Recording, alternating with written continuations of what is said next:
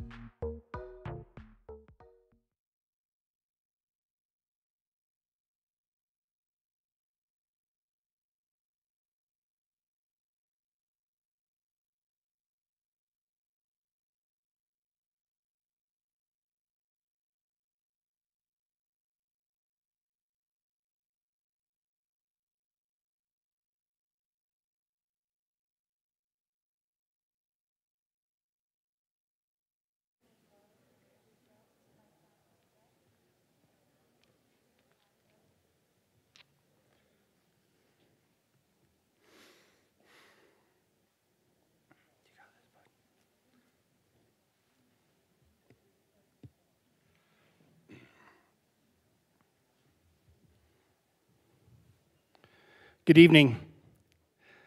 Thank you to everyone that was able to join us here in Beaver Creek.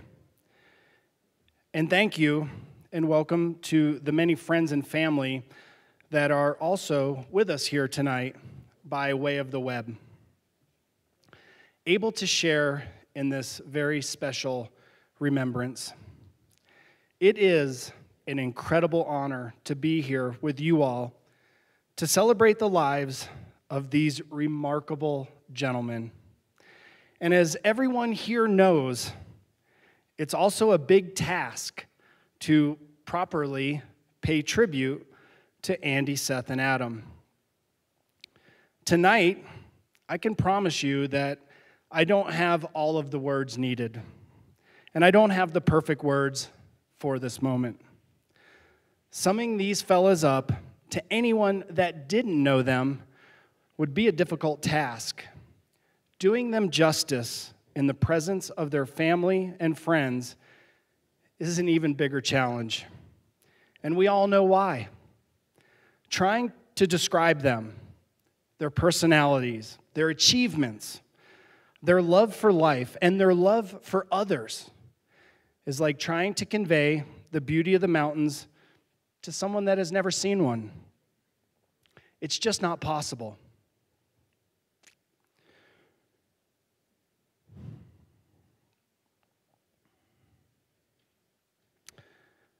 This loss is so tremendous to all of us. The most exceptional and memorable men, inspirational humans on so many levels, loving husbands, caring brothers, proud fathers, beloved sons, and the most loyal friends. They were the absolute very best in those roles. But as all of us know, it doesn't stop there. This is where the conversation only begins when trying to convey who these guys are. The descriptions proceed quickly to community crusaders, public servants, environmental protectors, advocates, givers, leaders. They were legends. Three men that put everyone else first and gave back to their community and anyone else that was fortunate to know them. And as we are all very well aware, they were not all business. They were adventurers in every sense bikers, skiers, surfers, mountaineers, mountain men. I'd also like to point out that they did often use their civic roles to create local amenities to feed their ongoing pursuit of a good time. In the summer, Adam was equal parts aquatic athlete and a dirt trail lover. If you're not familiar with his almost daily routine, he would often link together a morning ride on his mountain bike, cruising a nearby trail. And then he would rinse off at the Eagle River Park during an afternoon surf session. And then, and you all know it, with that classic Palmer smirk, he would say something like, Come on, man, Eagle Surf and Turf. Many days on those same sunny afternoons, I would see him later on riding bikes around town with his girls, Kaylee, Savannah, and Montana.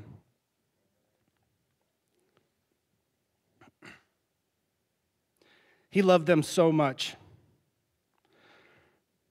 And he was such an awesome girl dad.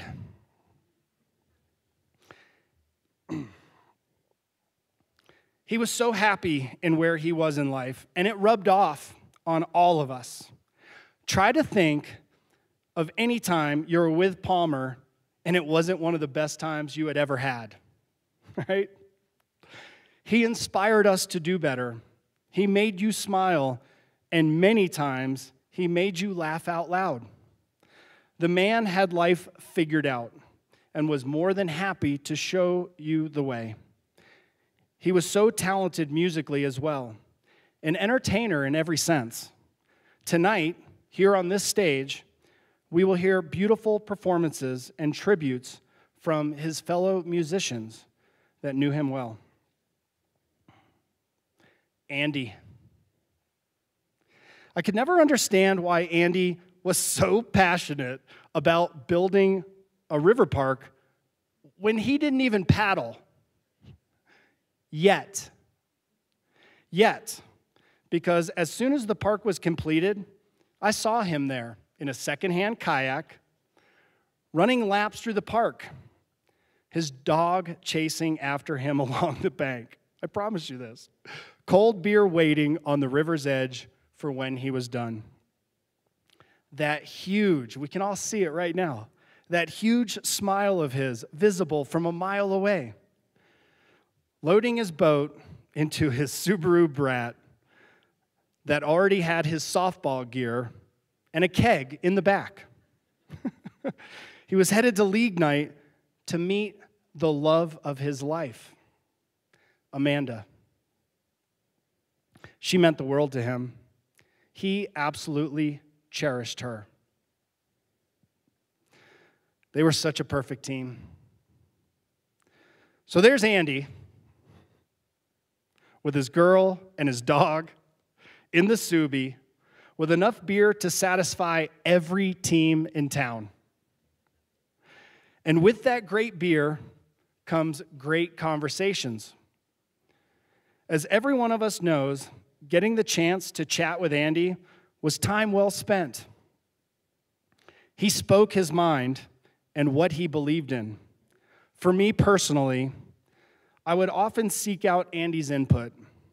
I, like so many others, appreciated his insight and advice. His mind was amazing. The town he lived in was a source of pride for Andy, and he was such an outstanding member of the Eagle Town Council that he was selected as mayor pro tem last year. He respected his community and peers, and they admired him back. The proof? Two giant Christmas penises at either end of Broadway right now. You know your town loves you back when they honor you with a now nightly display of this out of holiday season res erection. And Seth, when you imagine in your mind the perfect, all around mountain family man, he was it. He not only raised the bar as a father, husband, and a friend, he likely constructed that bar from old recycled bikes that he kept stored out back in his barn. The man was a phenomenon in so many ways a skilled craftsman and architect with the most keen eye focused on the attention to detail, to perfection. You can see it not only in the house that he personally designed and built in Eagle, but into the life that he helped create within that home. He, alongside of his loving wife, Cindy, and their beautiful children, Faye and Loa, they are a family so full of kindness and warmth. Seth's heart was huge. He had love for everyone, and he would often call his friends out of the blue just to check in on them. He cared deeply about how others were doing. Some of those same friends were lucky enough to hitch a ride to the trailhead in Seth's old, and let's just say less than cosmetically perfect Volkswagen van. Only to be just a little bit humiliated when he crushed them while riding a single speed. That man was the essence of Eagle, equally adored as he was admired. He was the epitome of humbleness and gratitude on a continuing quest of living a very fulfilling life. Tonight, you will hear beautiful stories about him, about all three of these much missed men. One thing is for certain those three guys loved adventure. And man, did Andy, Seth, and Adam love you all? They loved you so very much. You know this. It's what makes their loss so much more painful and powerful. Tonight, we honor men that brought their families an endless amount of love, enriched our community they made each one of us happy just to be in their presence. They were good to us, and they were great for our souls. Their absence from our lives will never, ever be filled, and our memories with them will only become more cherished over time. They are here with us tonight because they are held so deeply in each one of our hearts. Hearts that together mourn such a significant loss, yet have come here together tonight to celebrate three lives well lived. Their spirits now soar higher than the Mount of the Holy Cross, momentarily leaving us behind to catch up with them another day. They were family men, gentlemen, leaders, the best, the boys. We will see them again. But this evening, we pay tribute to three of our community's finest Andy, Seth, and Adam. Ladies and gentlemen, Angelo Fernandez.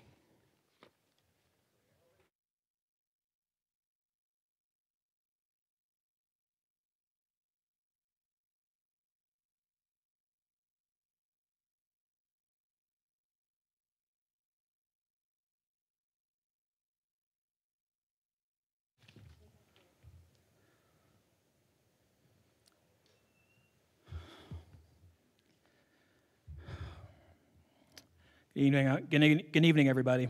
I'm Angelo Fernandez. I was a friend um, of all three Adam, Seth, and Andy. Uh, I just want to start by extending my deepest condolences to the Bossung, Bossung, Jessen, and Palmer families. Our hearts are all with you. As I was preparing for tonight, uh, I've been thinking about a conversation I had with Adam when I came back from the Philippines last year on a trip. Um, he saw a note on my desk and we started talking about it. The note said, Bahala na. It's a phrase that Filipinos use and say, it means come what may. It said an acceptance of things that are usually out of our control, as well as a way to say that everything's going to be okay. I can remember the look on his face when he repeated it. It was that signature Palmer grin. And he repeated it. And he said, Bahala na. I think it resonated with him, and I can see why. He lived his life that way. As I started to think about a few words that describe Adam, I thought about adventure, optimist, relationships, collaboration, and service. It's also how he showed up at work. In a conversation recently with one of our mutual friends, he had said that um, in working with Adam, he learned that Adam wasn't just that smart, polished, and creative person. He sprinkled in just the right dose of localism to make work fun.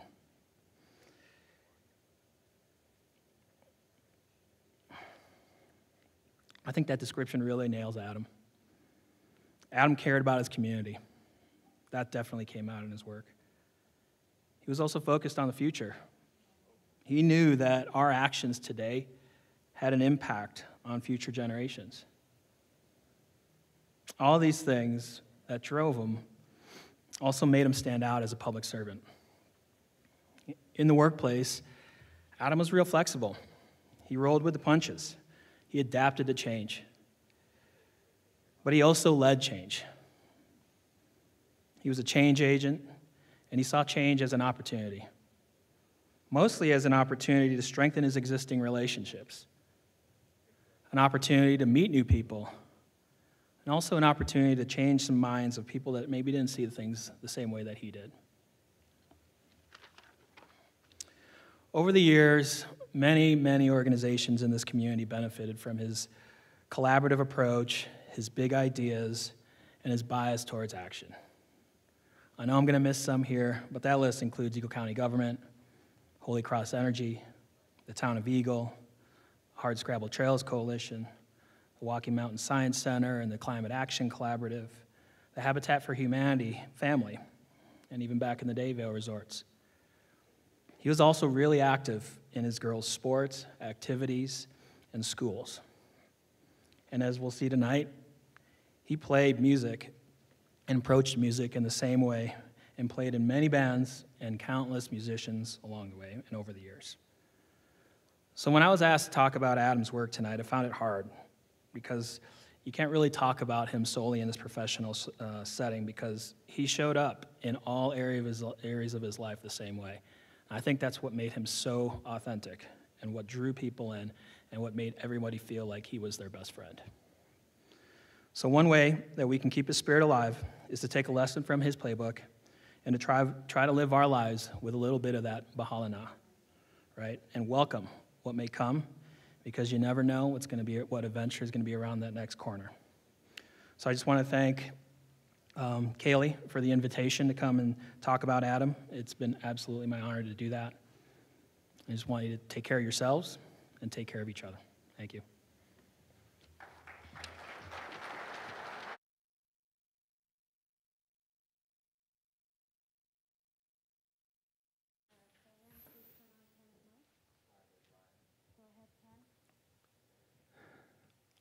Ladies and gentlemen, friends and family, Mr. Hardy Bodenheimer.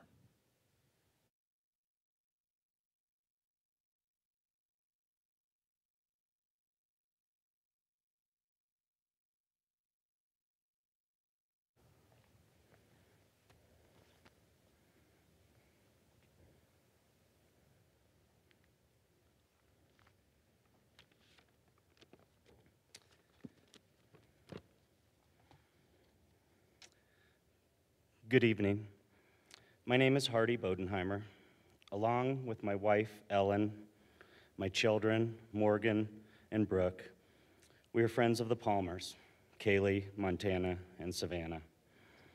I've also been considered the caboose on many adventures with Adam in the mountains, rivers, and oceans. It's truly surreal to have the memories and delight of all of these great times come flooding back to me. I'm sure you all feel the same way.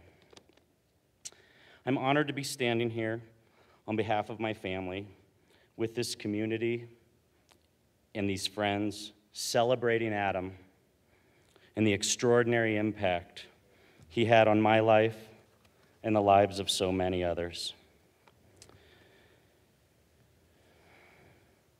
In my time as Adam's bud, I quickly understood that Adam was a special person, and that community, friends, and most importantly, family are what made Adam whole. Community, friends, and family were the focus of his life. Adam's love for our community and his passion to not only be present, but rather ingrained locally was amazing. Adam's focused energy while supporting and improving our community never wavered. He always wanted our community to reach its full potential while making sure it always stayed true to its roots and the things we all love about living here. In all honesty, the more time I spent with Adam, the more envious I became. I wondered, why was I not more like Adam? How does this guy's commitment to community, such as the Eagle Town Council, Hard, Travel, Hardscrabble Trails Coalition, the Eagle River Park, Holy Cross Energy, and so many more come so easily? How is his commitment so effortless? It was an admirable talent of Adam's to support the community the way that he did, and at the same time, selflessly reap the benefits of a fresh new single track that just happened to get approved. Like many of you, I always looked forward, I always look forward to being out in our community. Seeing Adam at our girls' Halloween dance recital on Broadway, or flying through town on the Mango e bike, going to and from work, or drowning out all of the irrelevant noises at the Eagle River Park with his block rocker while we surfed the evening away. It was always so fun. It was also always very apparent that Adam was home in this community, and it is the place he wanted to be the most. Adam loved to see his friends. I consider myself so lucky to have finally met Adam through my girls in my 40s. After starting a family and apparently growing up, who would have thought that I would have met a new buddy.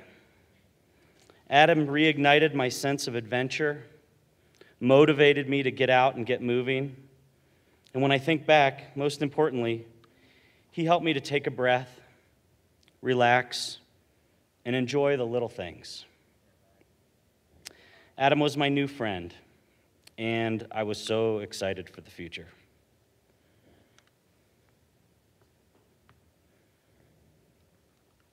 Because of my friendship with Adam, I will look at life differently and try to approach this fragile life as a better person. Standing here, looking out at all of you who are also friends of Adam, old and new, I feel the power of the friendships you had with him and know the value you placed on that relationship. It is one of the great gifts of life to have such a solid friend. I know Adam felt the same way about all of you. Now that we are left with this numbing void, I urge us, us friends, to bask in the memories and stories, to keep Adam close. As friends, we will always need him to be near. Adam would want us to use the bond we had with him to strengthen our bonds with each other. Being present when Adam was with his family was magical. The Bodenheimers had the good fortune to grow up as a family with the Palmers.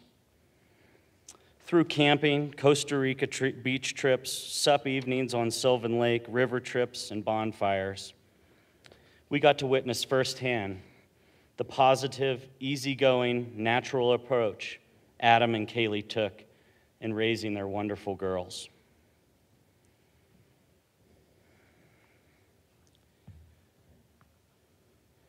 To experience firsthand the music, dance, and laughter, mixed with a sense of adventure and passion for life, has been and will continue to be so inspiring to our family. The Palmers are a constant reminder of what is truly important. Montana and Savannah, in life, your father gave you amazing gifts that you will carry with you forever. As you grow up and continue to flourish, these gifts will ensure that your father will always be with you. Kaylee, it has added so much to my life and the lives of my family, experience first, experiencing firsthand your relationship with Adam. A team through ups and downs. As a couple, you inspired and gave hope. Your relationship with Adam and the family you built together will, will be one of the great legacies that will get you through this in the short term and allow you, all of you to thrive in the long term.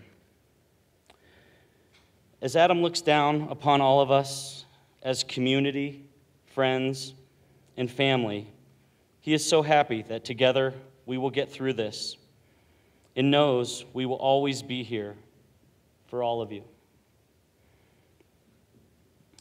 Montana, Savannah, Benny, Pua, and Hihi. I'm going to miss my friend Abom. I'm so grateful to have had the opportunity to experience a friendship that offered so much and was always so easy. Thank you.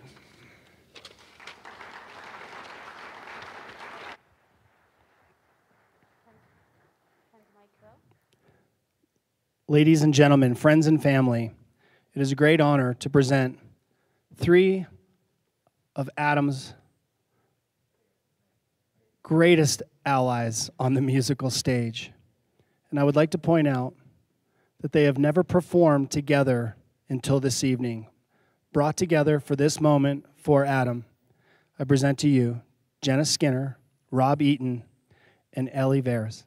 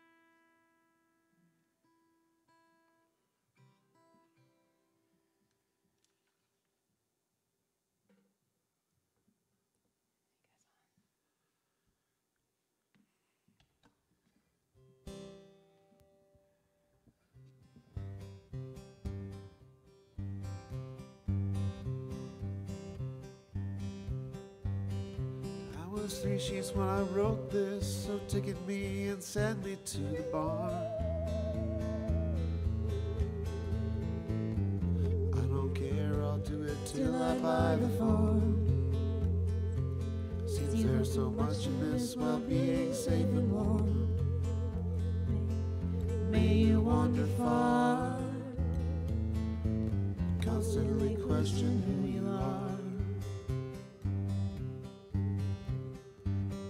try to stand down, but camouflage is easier, they say. I want her in the room, but it's easier this way. Hide from the consequences, saying what's at stake. Rivers feed and steal from the sea. Sorry, nobody rides for free. By a sound. She woke up looking deep into a stranger's eyes. On and on, her nightmare played into the night. On one hand, she could finally rescue up the fight. Freedom always comes with a cost.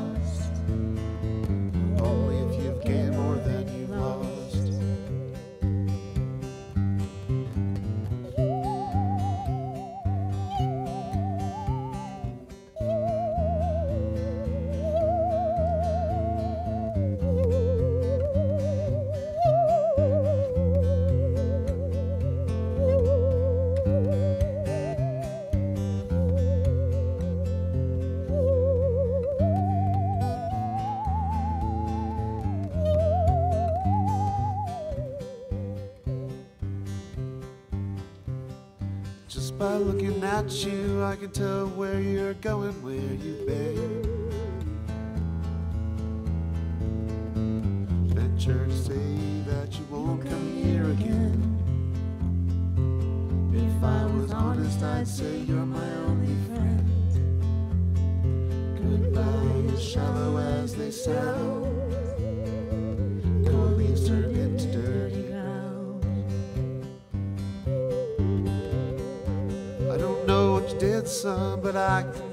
You have won first prize.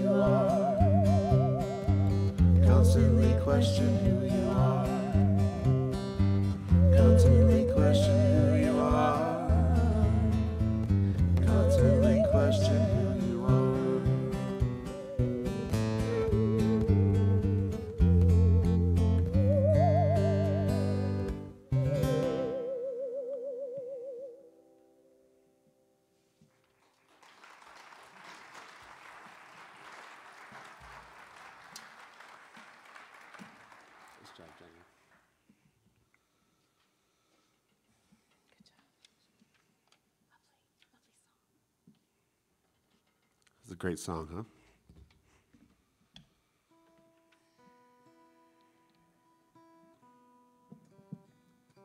Yeah, that was one of Adam's tunes. Uh, nothing could replace his whistle, but we try with the saw. It was good because Rob and I can't whistle. So. Um, this is another one of Adam's tunes that um, he would always play when Kaylee was in the audience. So I'd like to send that out to um, Kaylee and Amanda and Cindy.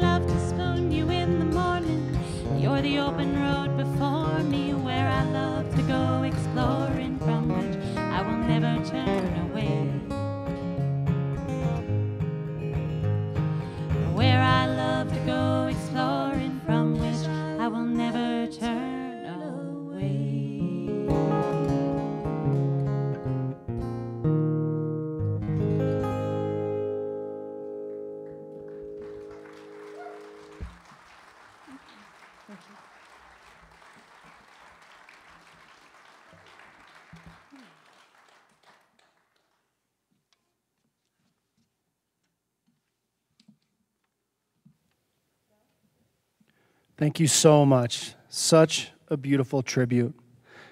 Ladies and gentlemen, friends and family, I would like to welcome to the stage, on behalf of Seth, John Gitchell.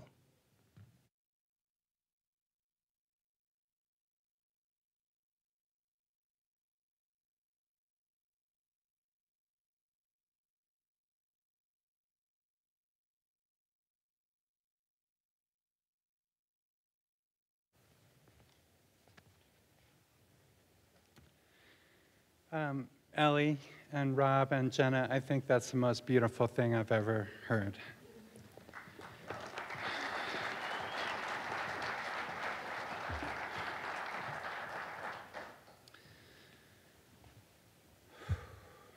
So,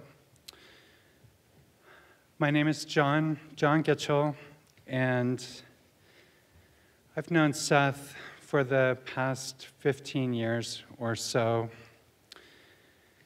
First of all, through Seth's architecture and his green building, and then through his work with Energy Smart Colorado, and most recently as my close colleague in sustainable communities at Eagle County. Seth and I had several things in common. Uh, one of those was uh, a love for rivers. And um, last summer, Seth borrowed some paddleboards from us, and he came over to our house in, um, in the VW van, and we hauled out the, the paddleboards. They're inflatable paddle, paddleboards, and we hauled those out um, put them in the van. I brought out the pump, and I discovered that I was missing that little yellow tube that connects the pump to the boat. And um, so Seth, in, in, um, in, true form, said, "Oh, don't worry about it. We'll, we'll figure this out." You know, and, and they did. They had a, a great day on the river. They got some friends and family out, and somehow they got air into those um, paddle boards. So um, let's see, a couple days later, Seth brought back the, the gear um, to the driveway and we hauled the, the paddle boards in. And of course, I just um, stuffed them into their place in the garage and forgot about them. Over the holiday season, uh, Seth dropped by with a really beautiful, um, very fancy wrapped present for us. And um, so we chatted for a while, and then um, I took it in and put it under the, under the tree. On Christmas morning, we opened our, our gifts, and of course, um, the gift that Seth had brought over was uh, that little yellow tube um, for, for our um, pump, you know, for our paddleboards. And that was the sort of, sort of thing that Seth did all, all the time. Um, he was just such a kind and caring and giving person. Uh, another, another thing that Seth and I had in common is that we both lived in Telluride in our after college um, days, years. And uh, I lived there earlier than Seth, um, but he was there a few years later, and that's actually where he, where he met Cindy in Telluride 30 years ago or so. And um, some, of the, some of the things that Seth did while he was in Telluride to pay, pay his rent were um, he was a Nordic ski instructor, and he was also a, a, bike mechanic, and he worked at the shops in town. And um, so he, he had a lot of mechanical skills, and he loved bicycles. Uh, one of the things he loved most um, were bikes. And so he pulled together a radio show with one of his bike mechanic friends.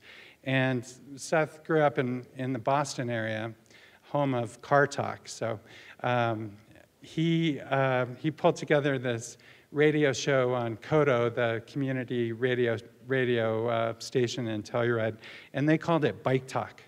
And um, so they would encourage people to call in with their biggest bicycling problems, and, and they would banter and talk about, um, about bike mechanic things. And, and uh, that, that also was the sort of thing that Seth was, was really drawn to, is just uh, having fun and doing a community service with the talents that he had. Um, the last time I, I spoke with Seth was on the Friday before he went on the hut trip. And um, we, we talked a lot over this past year. We talk about work, we talk about our parents and um, you know, our kids, families, and uh, we talked ab- about a lot of different things. But uh, on that call, um, Seth talked about um, you know, getting ready for this trip and gear and some logistics and things. But but mostly what Seth was concerned about was that he was going to be going away while he had um, ski racing with his kids um, that weekend, so he wanted to stay there for the weekend and, and do that, be there with them. And then um, he was going to drive down and join the group after that. But his biggest concern was that he was going to be away from his family for um, just three days. So um, I just want to ask all of us to keep some of these things in mind about Seth. And I, I know I'll be um, thinking about him a lot and trying to apply some of the things that he did in his life to my life. So, thank you.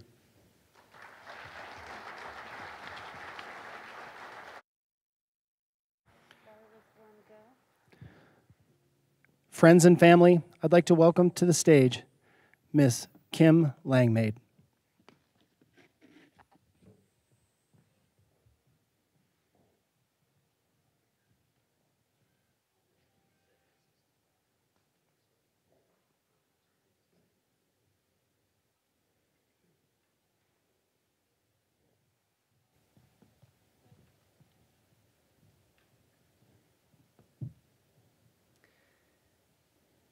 Seth, Adam, and Andy were champions of our mountain communities. I met Adam shortly after he and Kaylee moved to the valley, and we partnered on so many community projects over the years. I met Andy more recently during the creation of the Climate Action Plan for the Eagle County community. But it was Seth I've known the longest. I met Seth in Wyoming 25 years ago when his wife Cindy and I were in the graduate program at Teton Science School. Seth was living in Telluride at the time, and many weekends he made the 11 hour journey to visit Cindy. Seth quickly became part of our close knit cohort, joining us in learning and exploring all the greater Yellowstone ecosystem had to offer, including skiing the backcountry of Grand Teton National Park. He was one of the most graceful, energetic, and inspiring teleskiers I've ever known. A few years later, along with our friend Ryland Gardner, we went on a ski trip in Canada, and shortly afterwards, Seth and Cindy moved to the Eagle Valley. Cindy joined our team at Gore Range Natural Science School, now Walking Mountain Science Center, to lead our youth programs department. And Seth was so excited about the possibilities here. He was passionate about mountain communities and had a vision for how his design and architecture could enhance the valley. He was intrigued and inspired by the vision for a sustainable learning economy, a mountain community enriched and motivated to create positive change together. Seth began his work as a local architect, and he quickly made lasting friendships throughout the community. When Adam, John, Yuri, and others at Eagle County launched the Energy Smart program in 2010, Seth quickly jumped on board and was one of the first energy assessors, bringing the program to hundreds of families, helping make their homes safe, energy efficient, and more climate friendly. Seth also joined the volunteer Eco Board of building specialists who advised Eagle County commissioners on how to make positive impacts through grants, programs, and to reduce greenhouse gas emissions. Seth became a highly skilled and trusted member of the collaborative team working to accomplish our community wide climate action goals. He excelled in his new role at Eagle County, where he could use his expertise in building science and design, along with his special gift for building relationships. Everyone in our tribe of sustainability professionals would agree that Seth's positive energy and can do attitude was infectious and made our work together so much more creative and fun. I teach a course called Careers and Skills in Sustainability at Colorado Mountain College, and last week I shared the career paths of Seth, Adam, and Andy with my students to highlight the creative ways people can design their professional lives to make a positive impact. The care and dedication of these three men was exemplary, and they were role models for so, so many of us. Seth didn't have a master plan for his career. It was his creative intention and motivation to help others that guided his way. In the words of the great mythologist Joseph Campbell, Seth truly followed his bliss. Seth applied a special aesthetic and caring intention to everything he did, from the bikes he rode, to the cars he drove, to the all electric sustainable home he built for his family, to the friendships he made, and his love for his whole family, especially Cindy, Faye, and Loa. Seth was a Renaissance kind of guy. He always had many projects in the works designing, building, and crafting things, experimenting, connecting, and pushing the envelope to enhance all our lives. He had a talent for synthesizing and seeing how everything could fit together. The sound of his laugh, the twinkle in his eyes, the pondering look on his face when he would hold his chin and say, Hmm, what about this? in his own way. We're all part of his special, special caring quality. I want to share an excerpt from the beautiful tribute in the Colorado Sun newspaper written by Seth's good friends Dave Manzella and Pavan and Carl Kruger. Dave's words here about Seth are better than I can say it.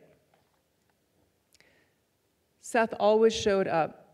He lived in the moment and taught many to do the same. He was incredibly optimistic, but could be real and vulnerable. He was thoughtful with his words and actions. He was a visionary. For his life and the life of his family and for his community, seeing the more beautiful world he knew was possible. He was an amazing husband to Cindy and dad to Faye and Loa, and he modeled how to love unconditionally. Personally, one of the greatest gifts from Seth was that he would always just pop by the house unannounced to visit my husband Peter and me, just to check in and catch up. The last time I saw Seth was when he dropped by the day before he went to Mexico this winter with Faye and Loa. He was so excited to spend some quality fun time in the surf and sun with his kids. His love and care for his family was beautiful, and it was his top priority. His presence and love lives on within and around his family, especially Faye, Loa, and Cindy. Today, we might feel there's a huge black hole in our lives with our close knit sustainability network throughout our valley wide community, and for those who may be listening and live much further away, beyond and across the country. We can honor Seth by sharing our good memories of him, supporting his family, and continuing to honor his legacy as we rally together, love one another, and work to shape our mountain communities. Thank you, Seth, for being such a good friend to so many of us.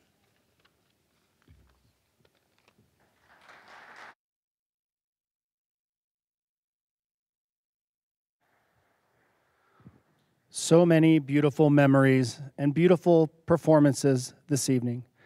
Ladies and gentlemen, friends and family, I would like to welcome to the stage Custom 20. Chris Weathers, Justin Ernst, Gregor, and Tanner Hall, all of whom have played so many times throughout our valley with the boys.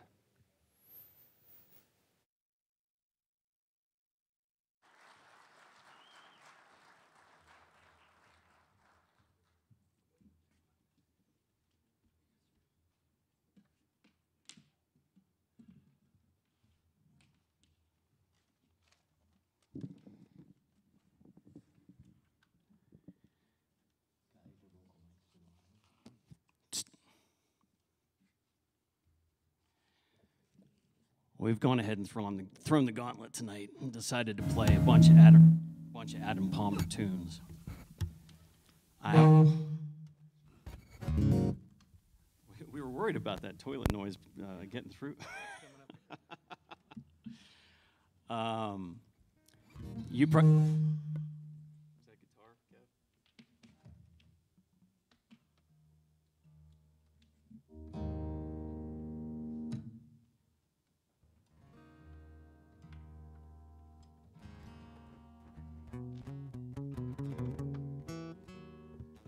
Sorry about that, guys. Just a normal custom 20 show.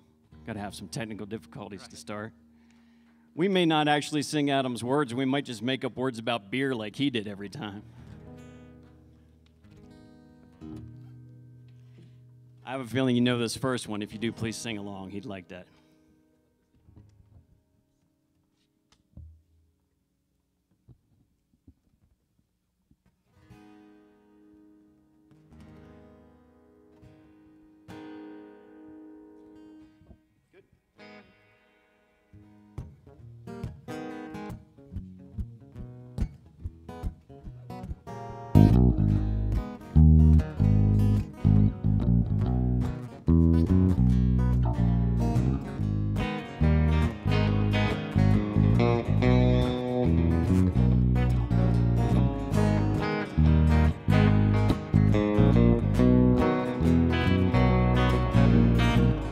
You're searching, what do you think you'll find?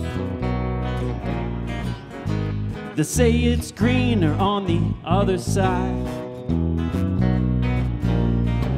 Oh, the simplest life lived from day to day. Ray of sun melts my frown, blows my blues away. But I kick it around. Just a few loose rocks on solid ground. There's blues in the sky. Always hold your head up high. This wish is for you. Do as I say, not as I do. Same stories they tell. Well, da da da da da da da. da.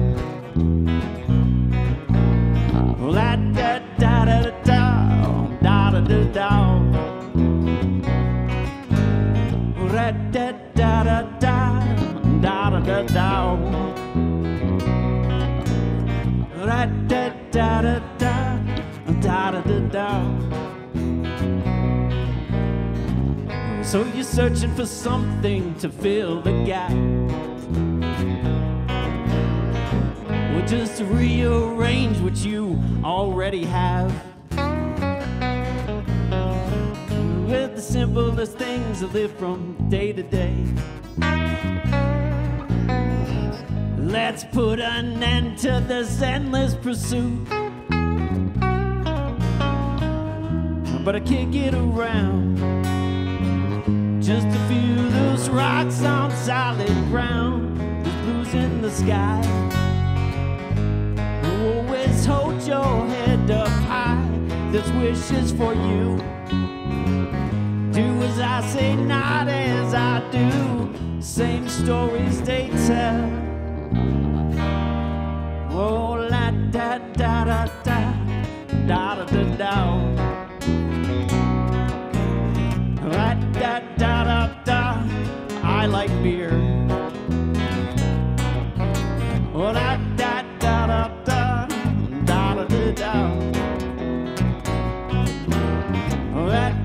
da da da da da da da. Hey, guitar.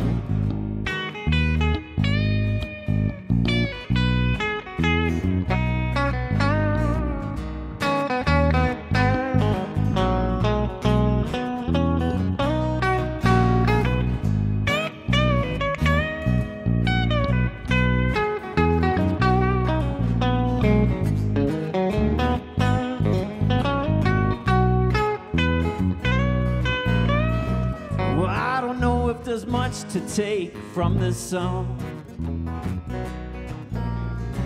But if I had twice the time, it'd be half as long. This simple as life, you'll find the truth. Let's put an end to this endless pursuit. But I can't get around. Rocks on solid ground. There's blues in the sky. Always hold your head up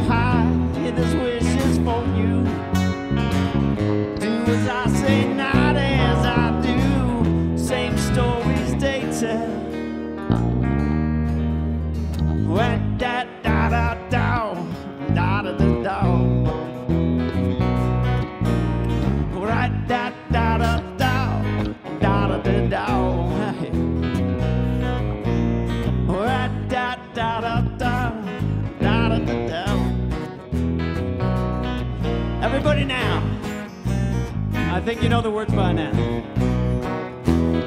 we go. Da. Da da da da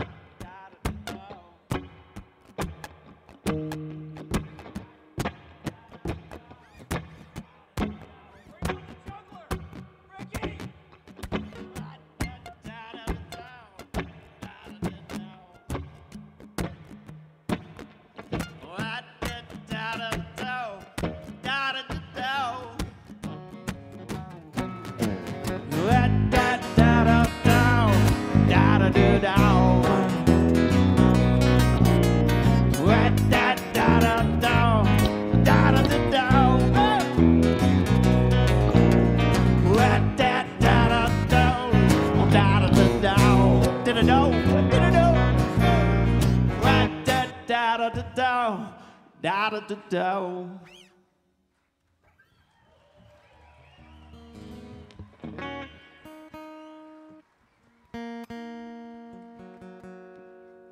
Man, I keep waiting for the big keyboard solo. Yeah, we're missing a few things. Pardon my Adam Palmer imitation, but hopefully we can do this stuff justice tonight. He always said he could get any crowd going. He said, I don't care. You give me a wedding, give me a funeral, I don't care. And then the son of a bitch left us with this. But we miss him, my goodness. But that's the truth, as you all well know. He could bring any room to a laughter very, very quickly. This next song illustrates that quite well. It's one I think some of you know as well.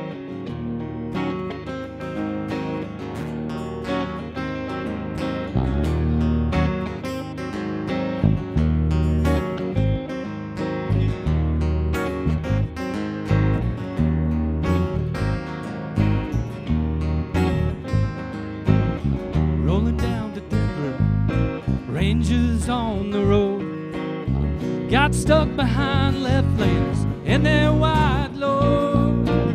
Watch out, this guy's brake tapping, playing me a fool.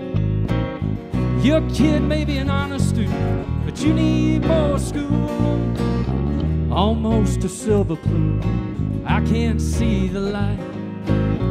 Maybe I'll make my move, gun it on the right.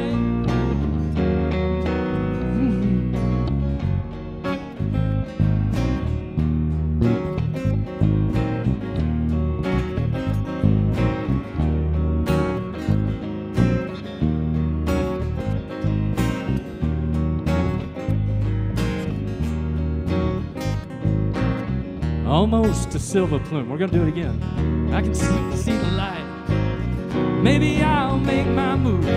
Gun it on the right. Finally by this guy. Swift truck closed my gap. Once again I'm stuck behind. Think I'm gonna snap. Left laners get moving on. Like gagging and clogging up the lane. Left laners get moving on. Such a shame. You plaguers driving me insane.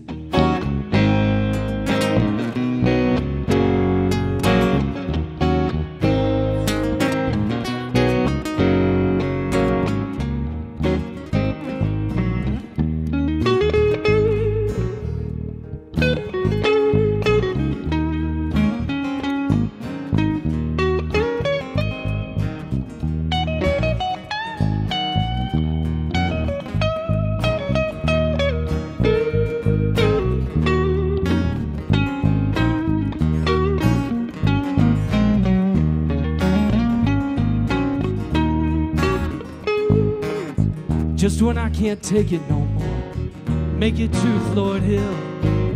I gun the low left lane, white wheel tires squeal.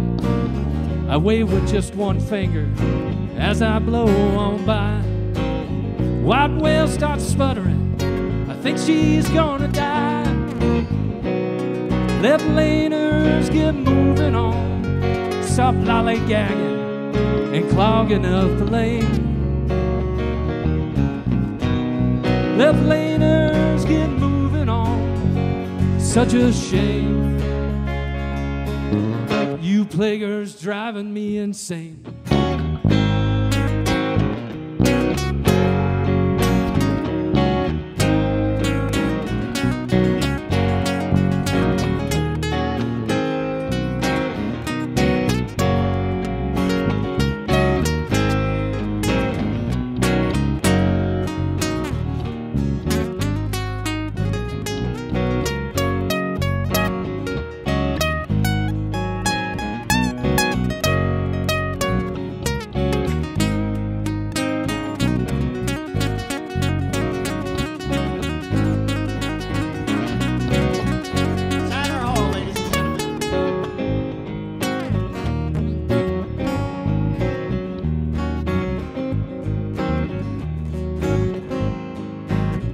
Don't know why this stuff all always happens to me.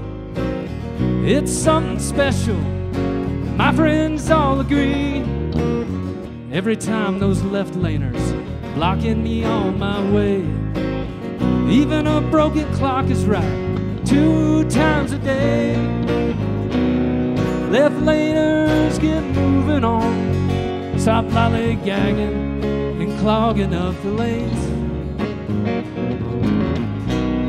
Left laners get moving on, such a shame.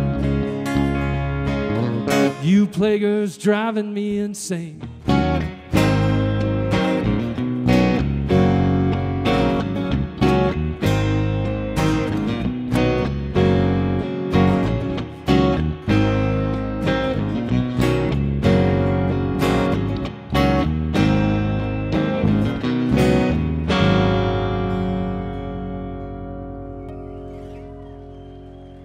Thank you. This is one of my favorite songs that, of Adams. Never sang it before, so it's a little it's a little tricky, right? It's such a good one. What's the over under of that making it through the song? Yeah, let's hear it for Tanner again on the guitar. We'd like to thank him for joining us. Shout out to Doug and Ollie and all the folks around town who make the open mics and everything and keep the music going. We'll keep that up. We'll celebrate again come summertime.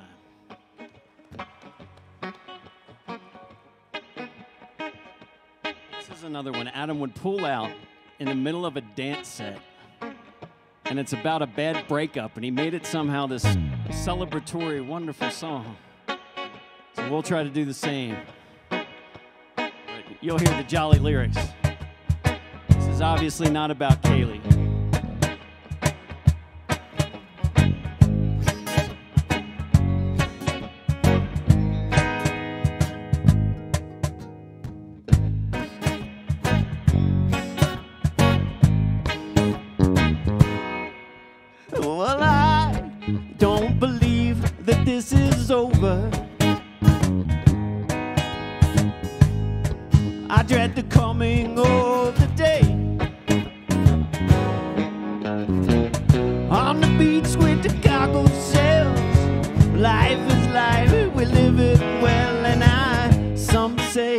Best let her walk away. where the April leaves were blooming. I saw you there across the beach.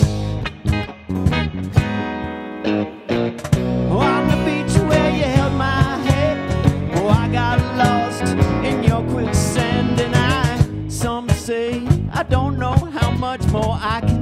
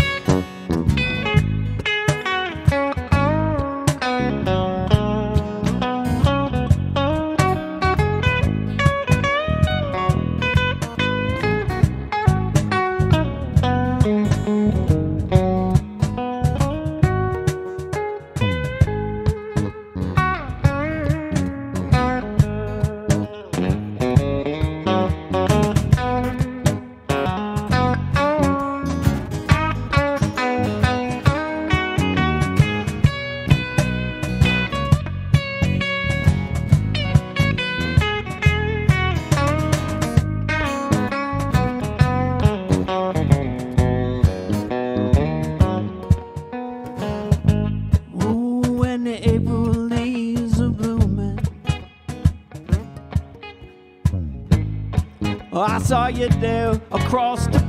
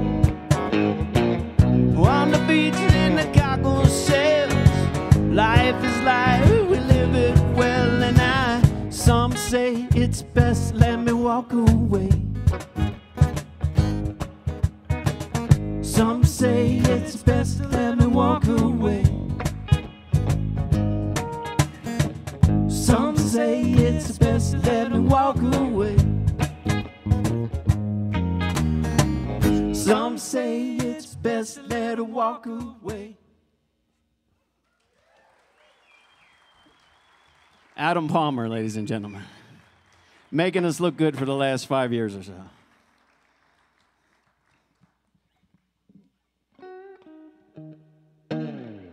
Whoever had the guitar stand through the whole song won.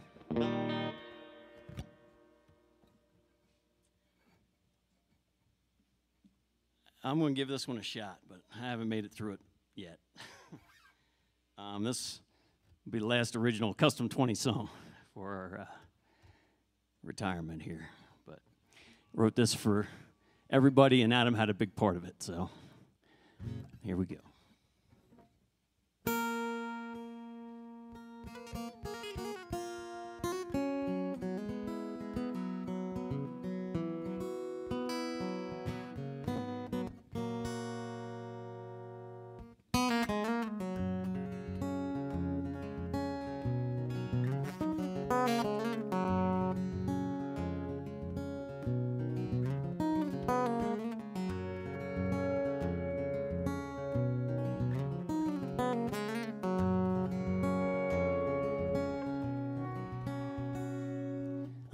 Gather round the bonfire with a brew or two. Listening to lies we know you can make true. Because where eagle flies, you follow. You know we roll the flow and surf the snow, and the river flow with you.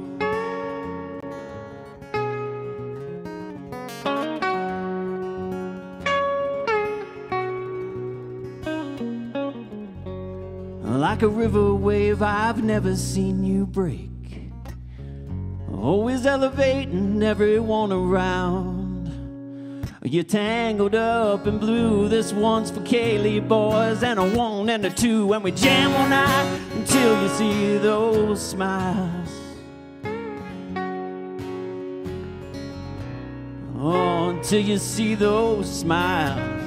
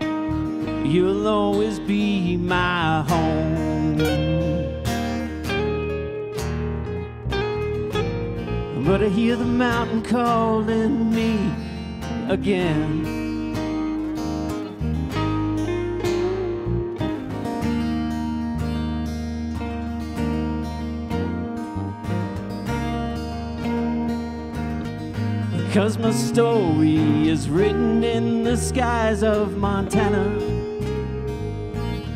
All these Colorado songs in my head, and warmed on the golden fields of Savannah.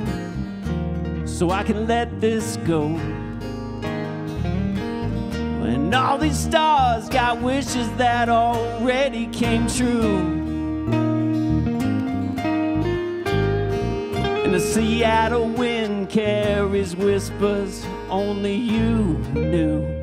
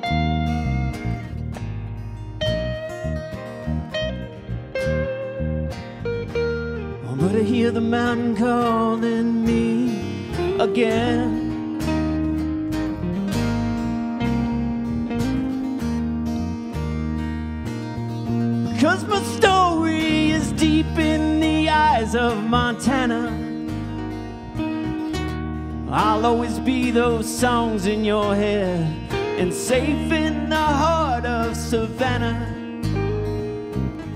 So I can let this go.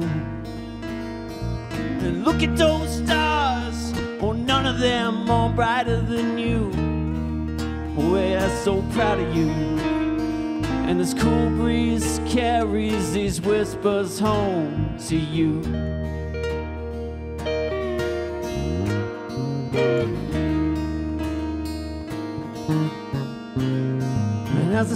Coming down, all that's left is you.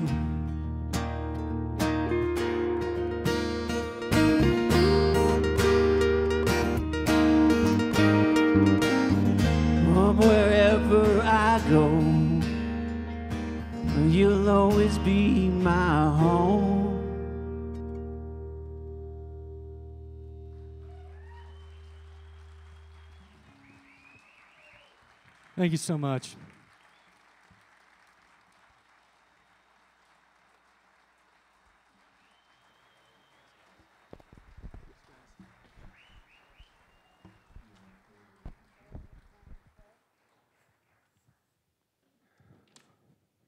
The words, the remembrance, the reflection, the music, the celebration of three incredible men. It is of the highest honor this evening that I would like to welcome to the stage the father of one of my good friends, Phil Jessen, Andy Jessen's father.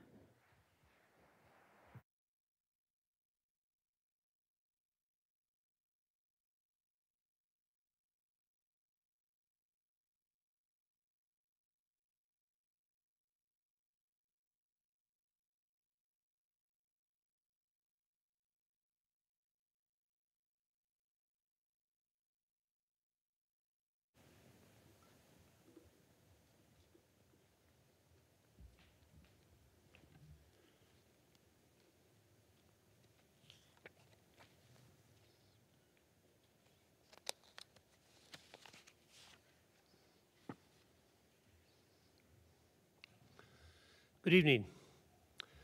When I was invited to speak this evening, my response was that I was honored beyond words.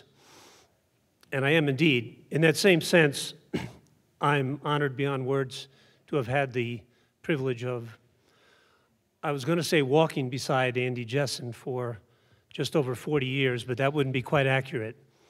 It's more like jogging at some points, running frantically at other points, and finally seeing him just leave me far behind.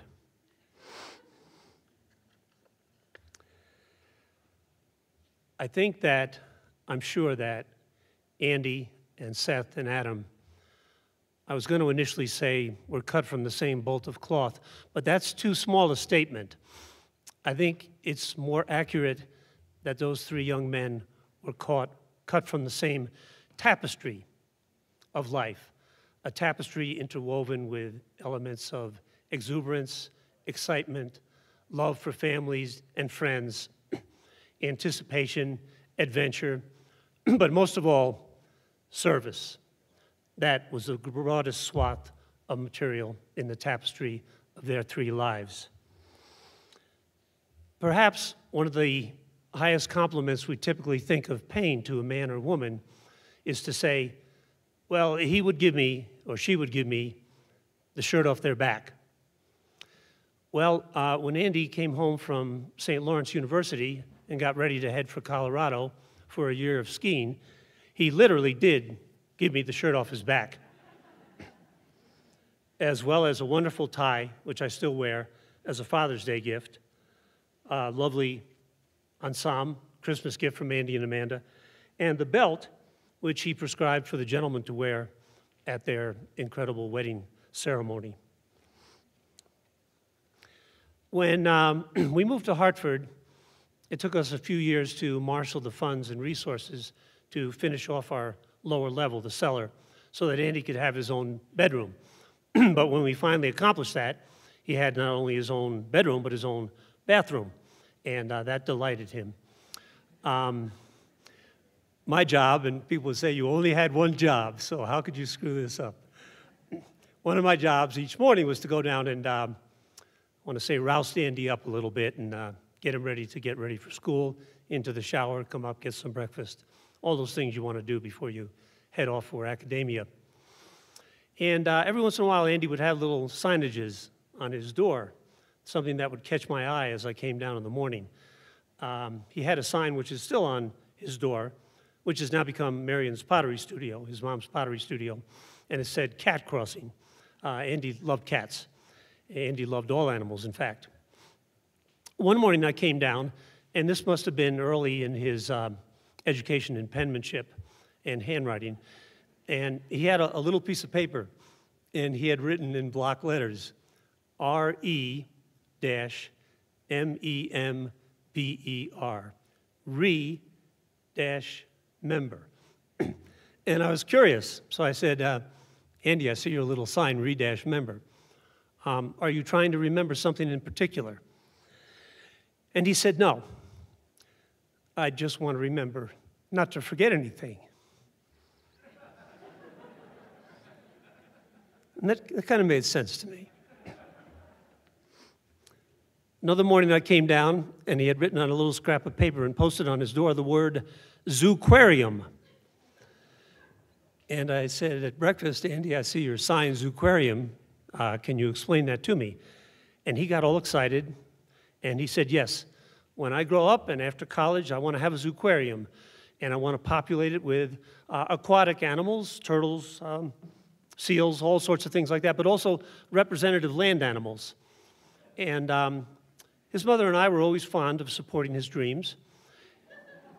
And that seemed like a fairly reasonable dream for him at age seven, so we encouraged it, uh, not knowing that he would um, start to populate our home in Hartford with representatives of uh, most of the earthly species. Uh, after a while, walking in the house at the end of the day was kind of like walking up the gangplank of Noah's Ark. He had frogs. He had chameleons, actually anoles. We used to call them Andy's cannolis. He had gerbils. He had hamsters. He had guinea pigs. He had mice. He had cats. He had dogs. He had a rat, which improbably enough was the most amiable of all those animals. Go figure. So that was Andy's Zooquarium. A long, long time ago in a distant universe, I was a college student taking a course in romantic poetry.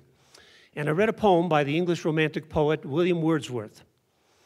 It was called Lines Composed a Few Miles Above Tintern Abbey. Uh, one of my fraternity brothers asked me what I was reading, and I told him the title. And he said, Oh, yeah, I read that. Uh, lines composed uh, a few miles above Tin Pan Alley.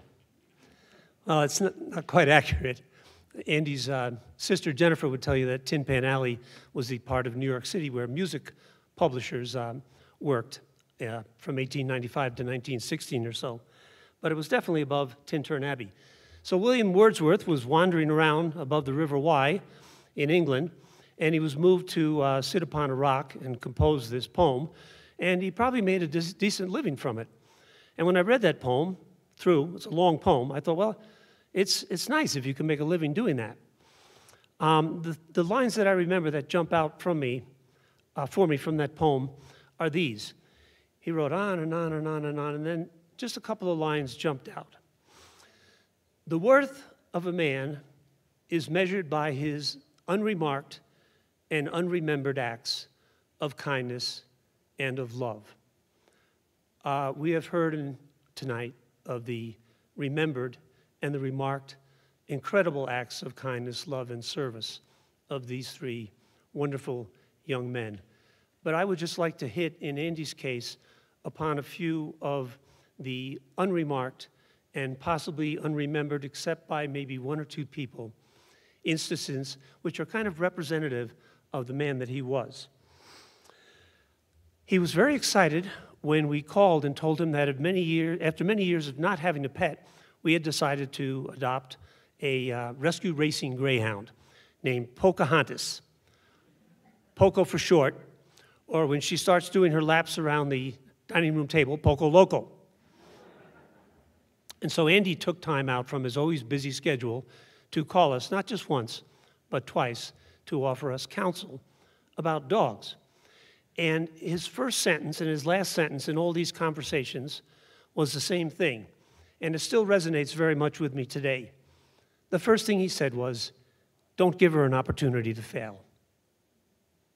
And the last thing he said was, Don't give her an opportunity to fail.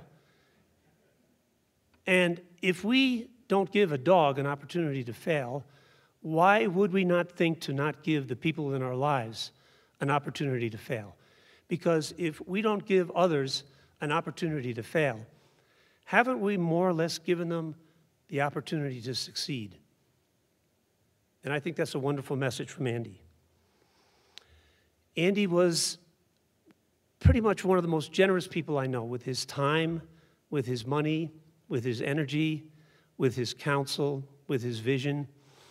He was in college, and I'm sure he was busy. We had gone up to visit him in the fall, walking along the beautiful campus of St. Lawrence University, and I noticed a memorial bench for a former student on one of the greens. So I walked over, and there was an inscription there. It was a quote from Abraham Lincoln. And I thought, wow, that's, that's really a great. I didn't think enough about it to sit down and write it down so I could use it. But at any rate, I started thinking about it as the winter came on. So I called Andy and I described to him the location of the bench. And I said, I'm wondering if you could um, get out to that bench and uh, write down that quote for me and call and let me know, because I think I'd like to use it in one of my Lincoln programs. So um, he waded out through snow, which at that point was probably up to his waist, with a pen and a piece of paper, and wrote down that quote from Abraham Lincoln. And uh, I'll refer back to that a little further down the line. Uh, another example of Andy's astonishing generosity was at the wedding of his sister, where again, I had just one job. My one job was to take care of all the gratuities for all the different parties there. And somehow I had badly miscalculated the dollar amount involved in that. And so I ended up standing down in the lobby by the coat rack with five envelopes in my hand trying to make six gratuities out of five envelopes. And Andy came down and he kind of sensed what was going on. And he said to me, You know, can I help you? And I said, Well, I'm a little bit short on money here. I was probably about $150 short. And this is what he said He said, I have $70 in my pocket doing absolutely nothing. And he took his $70 out. We put our heads together and we decided to stiff the minister. we, we, we, we caught up with him later when we got back to Hartford. But um, I'm always going to remember Andy, and I'm sure you will, uh, by the letters in his name. A for availability. He was always available, always accessible. And I'm going to drop the E, I'm going to say N for enthusiasm. Uh, D for determination, and I could go on at great length for that. And Y in the name Andy for yearning, the things he yearned to do um, to spend more time with his lovely wife, to go on more vacation adventures, to um, exercise his entrepreneurial skills even more. The latest thing he talked to me about was a venture he called Subaru Rescue Incorporated. yeah. And, he was going to round up a bunch of uh, Subarus which were not roadworthy anymore and um, fix them up himself. He became a great Subaru mechanic and then get them into the hands of people who needed a car to get their children to work uh, or to school or to get to work themselves and to maintain themselves in the community. Um, in closing, just a little story about his cat. His cat's name was Bandit. Uh, she got that name because she had a habit of suddenly, when you least expected it, jumping up on the dining room table and snatching a morsel of food off your plate, uh, sometimes an entire piece of toast. So that was her name, Bandit. She lived for a very long time. Eventually, as uh, long lived animals do, um, she lost uh, most of her hearing and all of her vision. For those of you who have ever had an animal that lost their hearing and or vision, you know that they adapt pretty readily and they, they get around fairly well. Well, Bandit had a habit, uh, years in development, of coming downstairs to the dining room, and as I was eating my breakfast, she would pause to my right, and then she would jump up onto my lap. And she continued to do this for many years. And after she lost all of her sight, she kept doing that. She would come down, she would sit, she would kind of inch forward, and then she would take that leap uh, a leap of faith, if you will. And I'm thinking as we move forward with our lives, that we need to not put these fine men behind us, that we need to put them in front of us to follow in the well illuminated path that they have laid out for us a wonderful path of service. And I want to close with a quotation from Abraham Lincoln and just describe the circumstances leading to that quotation. And I'm sorry that I've taken up so much time from the program. Um, Abraham Lincoln was sitting in his Oval Office uh, shortly after the end of the Civil War, visiting with a good friend of his from back in Springfield, Illinois. His name was Joshua Speed. And they was catching up on all the gossip, what's going on with all the attorneys back in Springfield. And they always called each other by their last name. So it was, well, now Lincoln, or well, now Speed, or Speed, would you tell me this and this and that? So the Civil War had just ended. Um, it was a hot April day, probably flies buzzing around in the air because they didn't really have screen windows at that time. They chatted for a couple hours. And finally, it was time for Speed to get back to Springfield, Illinois, and for President Lincoln to get back to the work which he had to do. And um, this is my abiding, thought um, about Andy as I finish up tonight. Lincoln finally got up and walked over to Speed, and they shook hands, never knowing when they would see each other again. And this is what he said He said, Speed, die when I may, I want it said of me that I always plucked a thistle and planted a flower where I thought a flower would grow. Thank you.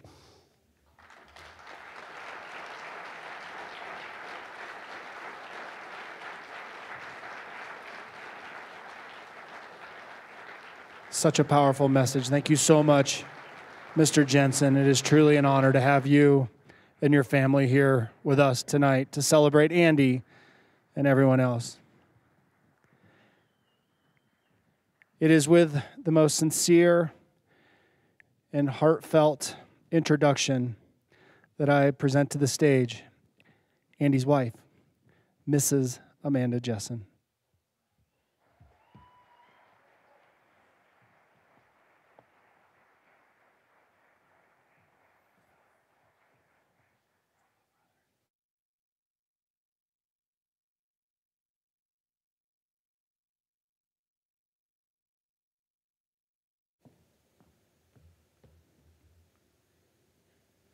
Friends.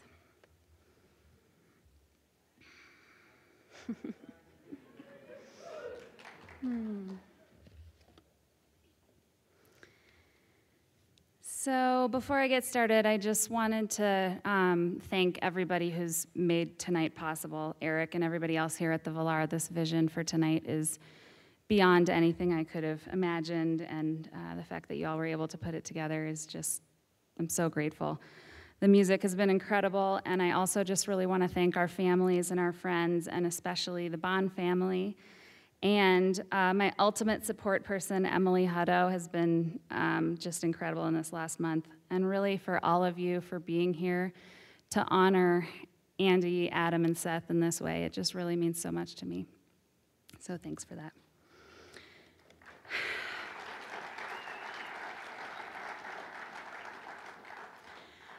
So I've doing uh, I've been doing a little bit of writing in the last couple weeks, and I was wondering if you guys want to hear some things about Andy. so, in the first few days after the avalanche, I kept thinking that the words would come to me. The right words, the appropriate words, words that could somehow convey all the things at once. Words for all of you who called and messaged or stopped by or made a meal.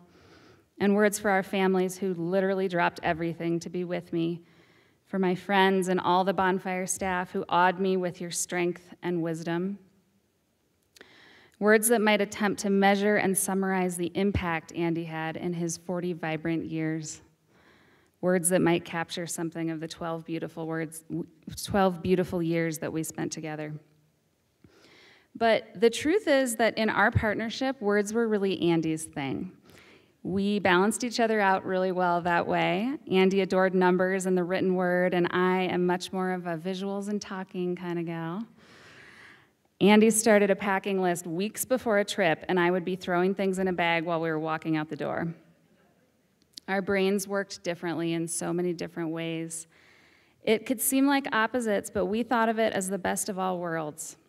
I trusted him utterly and completely in every sense, and that trust was made even stronger by our differences. So, tonight, as I look out at this gathering, I'm drawing strength from Andy's agility with words, from the way that he loved to debate an issue, to discuss the finer points of West Coast versus New England IPAs, to respond to email with lightning speed, and I'm also drawing strength from all of you. I think about the power and the potential that Andy always saw in Eagle in this community that he worked so hard for. And I remember when we met uh, about 12 years ago, I learned how determined Andy was to make a home in Eagle. His East Coast ties were still intact, and his mood from April to September was always contingent on the win loss record of the New York Mets. Even still, he was absolutely certain that the mountains of Colorado were his home. He loved the sense of possibility in Eagle and the proximity to the outdoors, the spirit of the people, and of course, the fact that there was a bowling alley. Over the years, Andy became known as a business owner, a member of the town council, a guy determined to keep Eagle weird and the shaft like Christmas decorations a staple of the holiday season. Of course, he was all of those things. He was also my partner in crime, my pet co parent, and the other half of all of my favorite stories.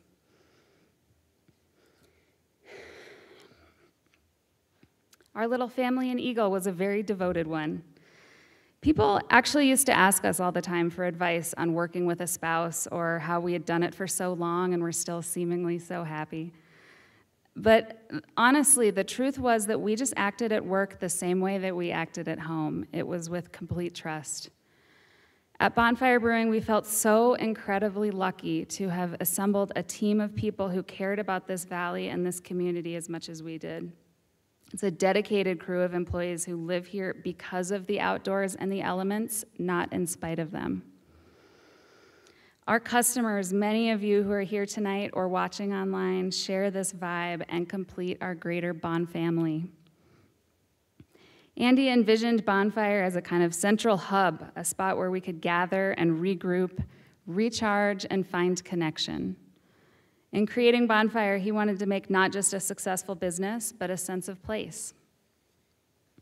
In the early years of Bonfire, I saw, sometimes saw Andy torn between his love for the mountains and his love for running a business. And in truth, both can be adrenaline producing at times. This year, though, he had really finally started to find a perfect balance between work life and the call of adventure.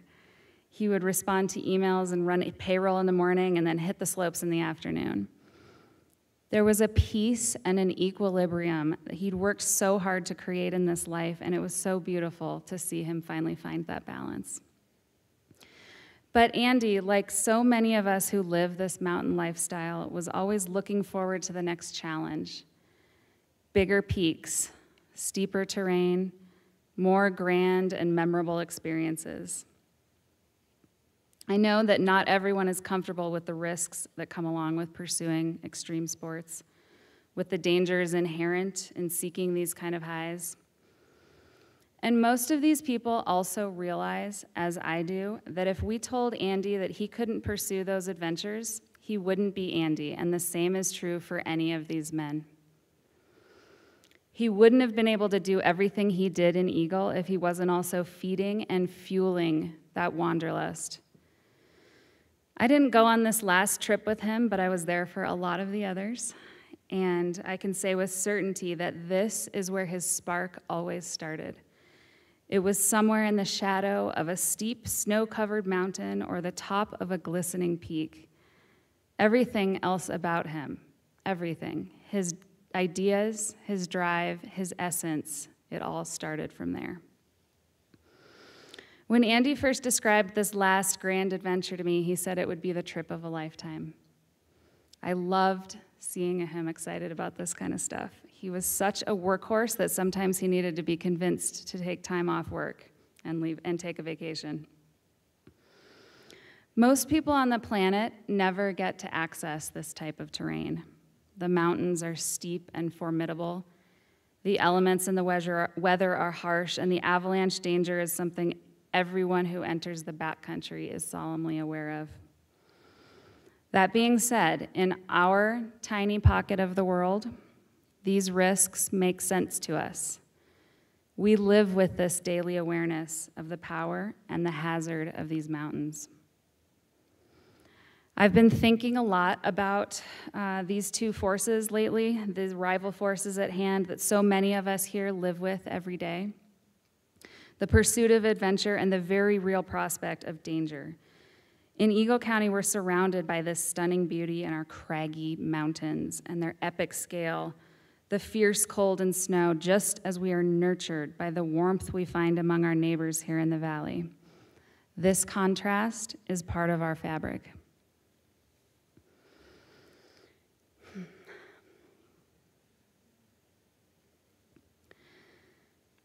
The morning after the avalanche, I arrived in Silverton around 4 a.m. At sunrise, I walked the streets in a daze, slowly stepping along back and forth to pass the excruciating minutes. The helicopters flew over, back and forth, and around the mountain for hours, bringing rescuers and supplies up to that area. And I waited and walked and I was at the base of the mountains and I felt close, but so, so far. A pickup truck full of search and rescue team members rolled down the snow packed street en route to join the operation. Our trusty MC, Ken Hovey, was with me and he motioned for them to stop and then introduced us. I had no words at the time, and he said, This is Amanda, and today you're heading out looking for her husband and his friends. Our eyes met, and I saw deeply that I knew exactly, and they knew what job they were about to go do. We told them stay safe, and we told them we appreciated them, but we didn't need words, and really there were no words that could be said in that moment. In our brief interaction, our hearts and theirs met in this deep embrace of connection, compassion, and also anguish. And then the heroes continued up the hill. The next hours were difficult ones, and many of these experiences I'm still processing and probably will be for a long time. But one thought that I kept returning to was that of cold. Andy always relished the winter. He, its fierceness, its strength. He always was overjoyed by snow in the forecast. He never got cold in winter, but in that moment, I was completely overwhelmed by how much I wanted to stay and keep him warm. Later that day, the sheriff told us bad news about the weather. He, there was a chance the incoming snowstorm would mean that they couldn't get the guys out the next day, and maybe not even the day after that. My parents were back at my house in Eagle, but the thought of leaving felt physically painful. And I could think of nothing other than Andy and our friends being out in the snow. That night, my family and friends convinced me to return home, and during that five hour drive, I was so numb completely numb, hollowed out, shivering uncontrollably even under the blast from the heat vents. But then, as we got closer and closer to Eagle, I could feel it. I could feel our home and our town and our people reaching out for me, holding me up, and waiting for me to collapse into their arms when I arrived home. It felt like the universe was sending me warmth, and I knew that was where I was supposed to be. I feel Andy all around me here in Eagle County. I know this is where he is, and I know this is where he was that night, not out on the cold mountain, but home. It was his love of these mountains, of this place, of this community, which led Andy to make a life in Eagle and to devote his life to making it a better place for all of us.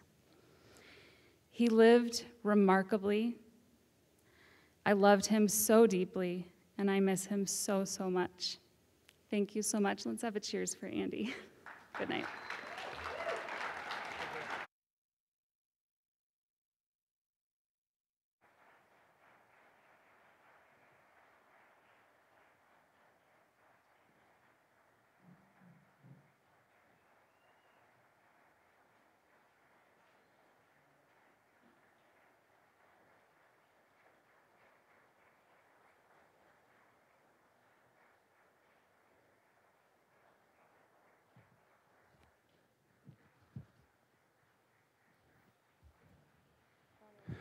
I don't believe that any of us in our short lifetimes will ever witness as powerful a moment as that. Let's let the celebrations of these incredible lives continue. I'd like to welcome to the stage this evening one of my favorite bands and one of Palmer's, because he is one of the founding members. These guys are remarkable. Let's all stand and dance and sing and celebrate together with the Alora brothers, Rob Eaton Jr., Sean Healy, and Andrew Portwood.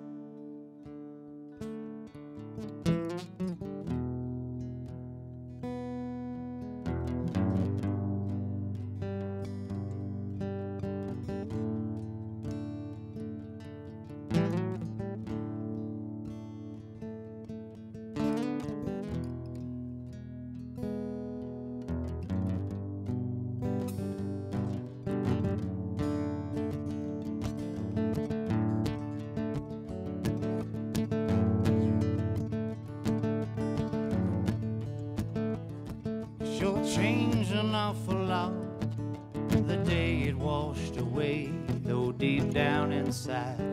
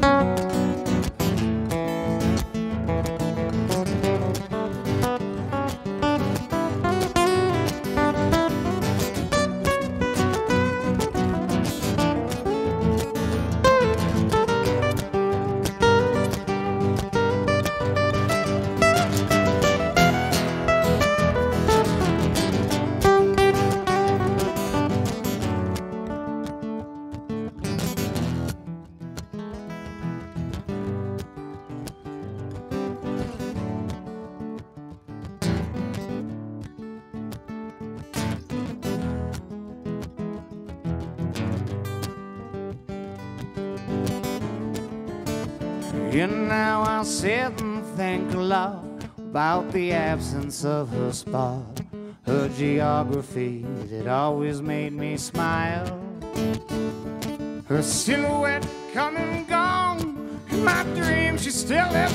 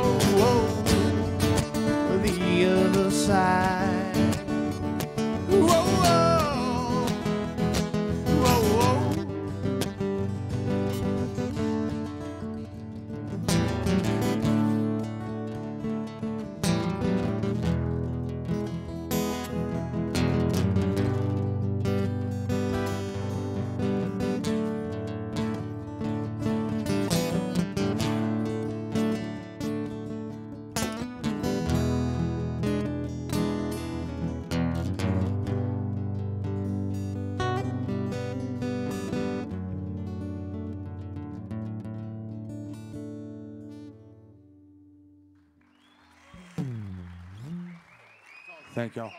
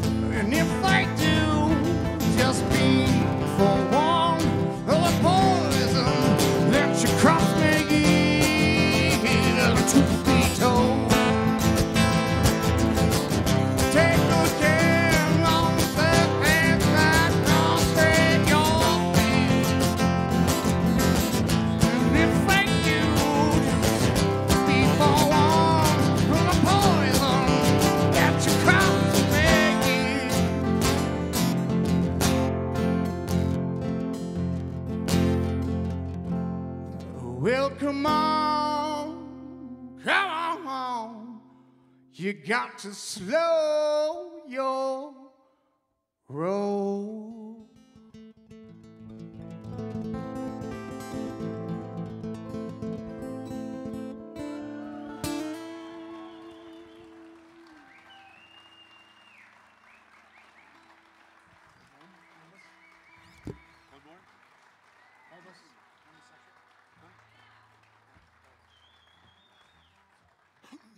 Thanks, Joe. Everybody got a place that they call home. Everybody got a place that they come from. Don't you know it's your cocoon? Everybody got a place that they come from. Everybody got a place that they call home. And that's the recipe that, that got you on this road.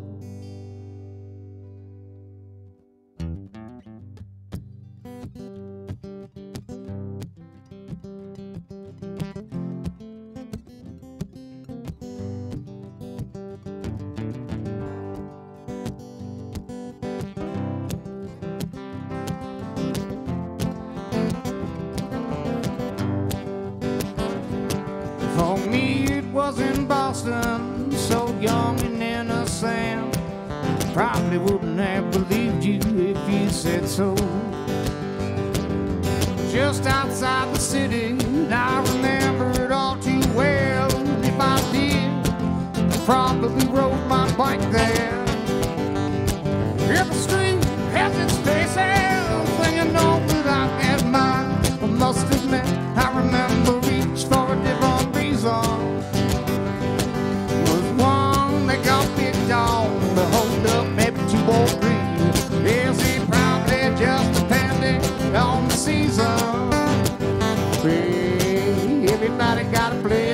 call home. Everybody got a place that they come from.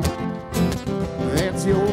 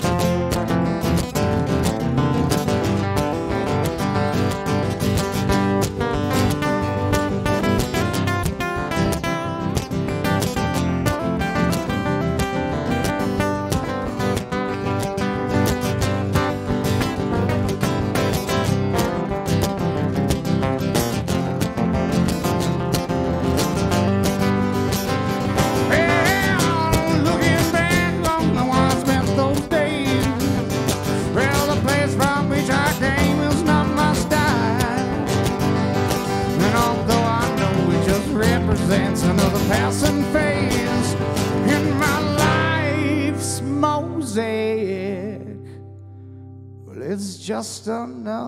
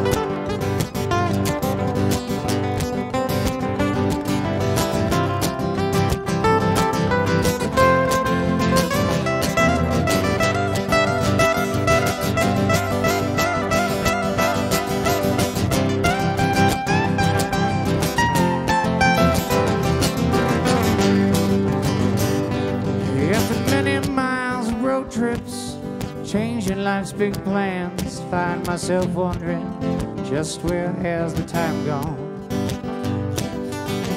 Knew back then what I think that I know now, I probably would have kept on, keeping on. Well, well, everybody's got a place they call home. Everybody got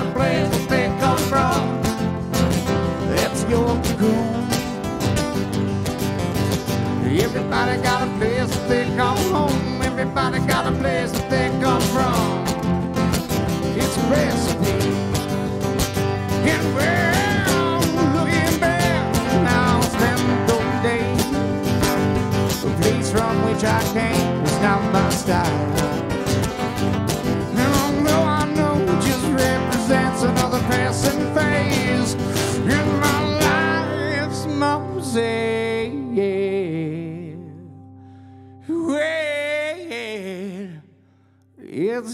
Just another time.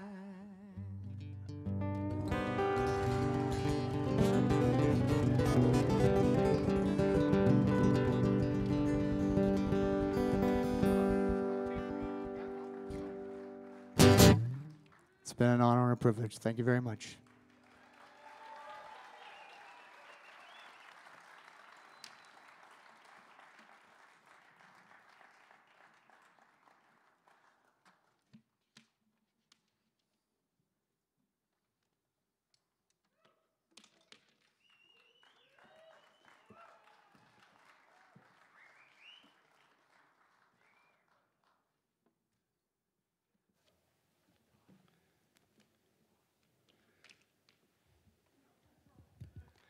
Promised myself I'd stick to the script, but right now I can't.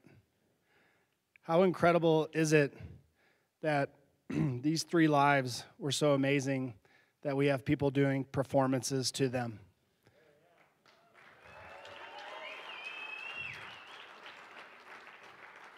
It's just amazing. I've been backstage watching the performances, hearing the speeches, also watching online.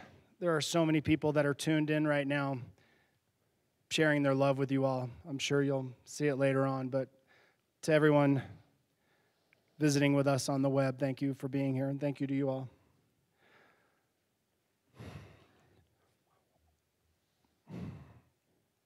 While we gather here tonight, we would also like to take a moment to pay our respect and our gratitude to the men and women of search and rescue. We are so appreciative to the heroic efforts. It's okay, you can clap. It's okay. That's what this is for. You're making this a little easier. I'll just tell you this, I'll carry on with where I was, but I've lived here a long time. I've witnessed search and rescue, but not like I did a month ago.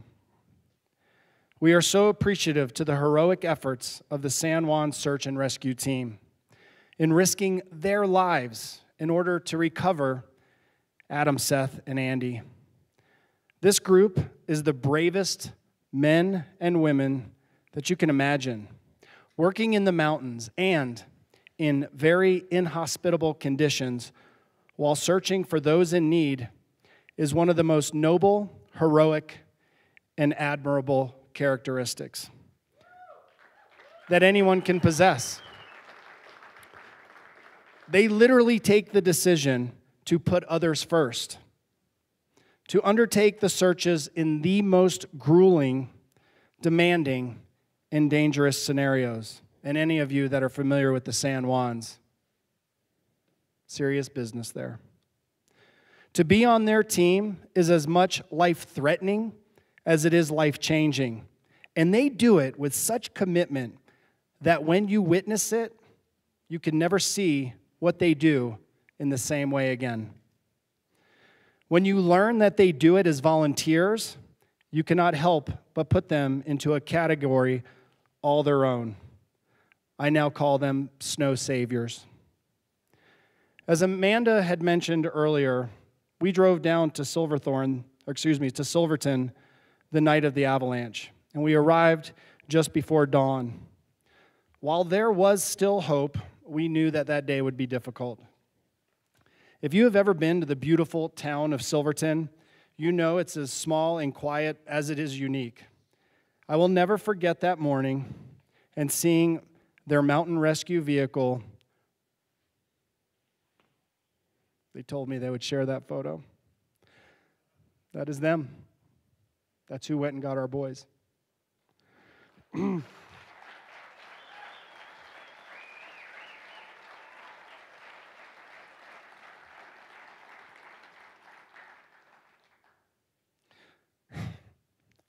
What I saw in that rig that morning was a group of incredible mountain beasts going into a very dangerous zone to retrieve our friends, people they had never met. They dug and fought through the snow for nearly three days. They had more slides that came down on them. They broke equipment. They had gear buried in those additional slides the next day. Amanda and I witnessed it and heard about it, as well as the four survivors. No words can come close to sharing the appreciation we have for the San Juan team, and I would like to recognize them with you all now.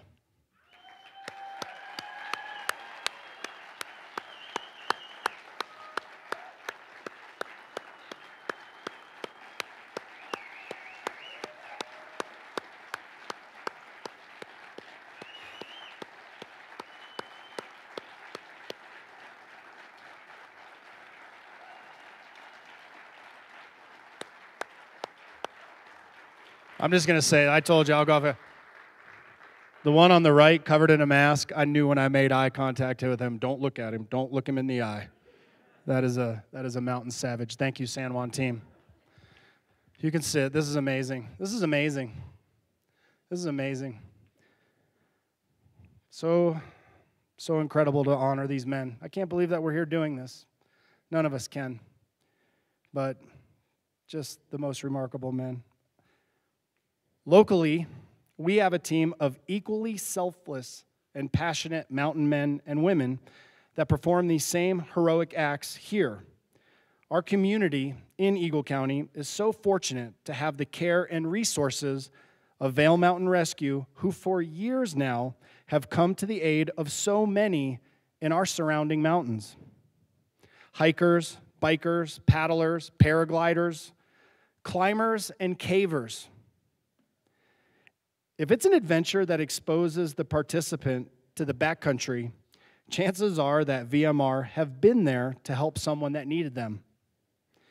And they do it free of charge, with their only reward being the humbling satisfaction they get from knowing that they have done everything they can to help someone in need. Tonight, we not only thank these mountain rescue groups for their service, I also want to salute our frontline medical forces and all emergency services personnel. We appreciate you so very much, and we don't say it enough. Thank you.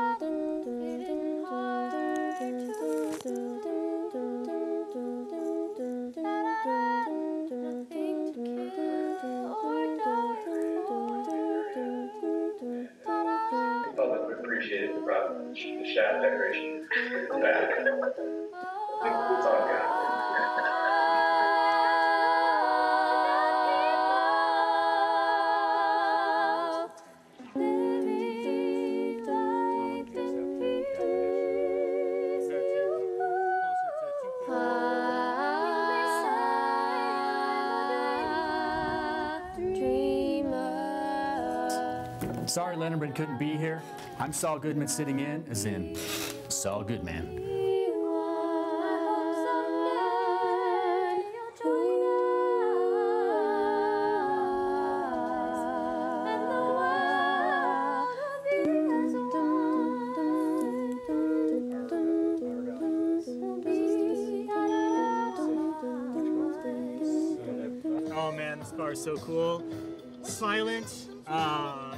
Fun to drive.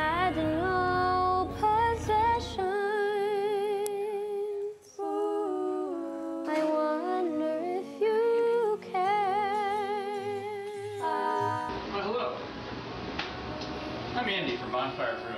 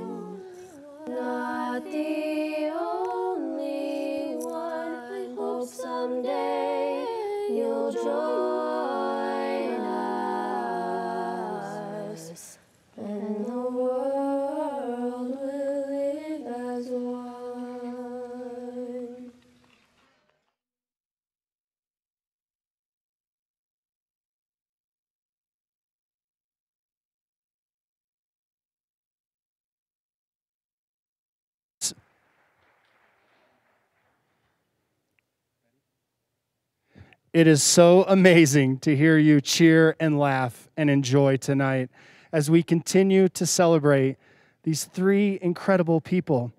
We're going to round out our night in a moment, in a closing, but I'd like to bring to the stage a group that I know is so near and dear to everyone's hearts. We have watched them perform so many times, oftentimes with the boys, either performing with them or celebrating with them. I'd like to welcome to the Vilar Center stage Hardscrabble, Jenna Skinner, Eric Lovegren, Rob Brown, Madeline Wheeler, Andy Lister, and Ray Mary.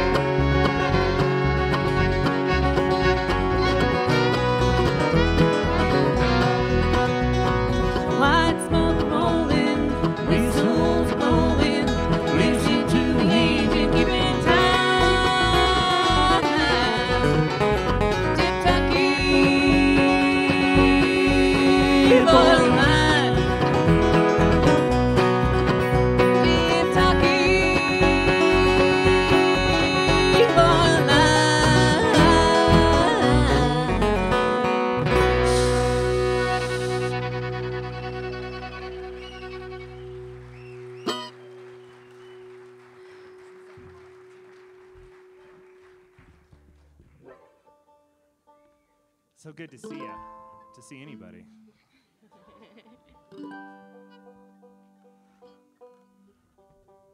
So we went into the vault for this one.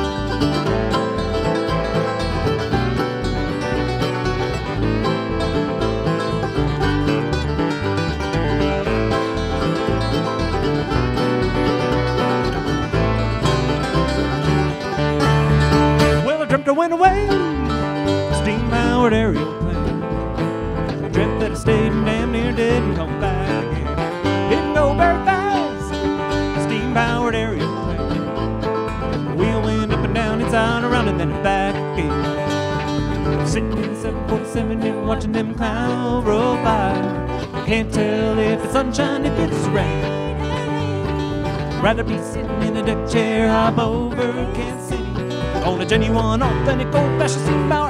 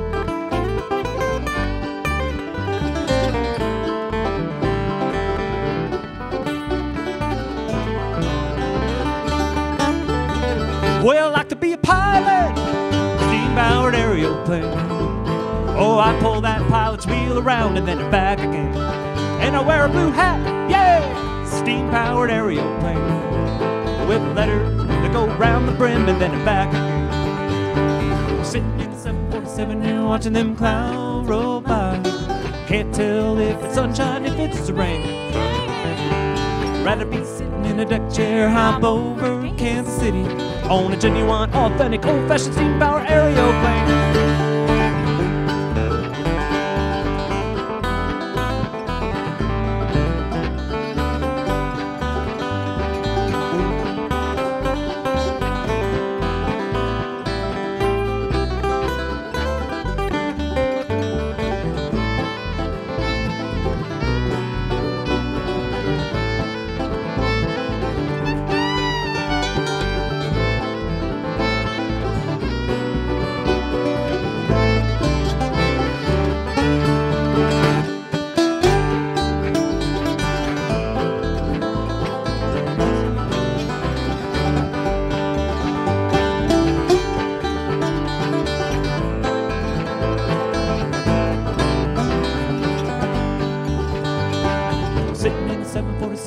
747 and watching them clouds roll by. Can't tell if it's sunshine, if it's rain. Rather be sitting in a deck chair, hop over Kansas City on a genuine, authentic, old-fashioned steam power aeroplane.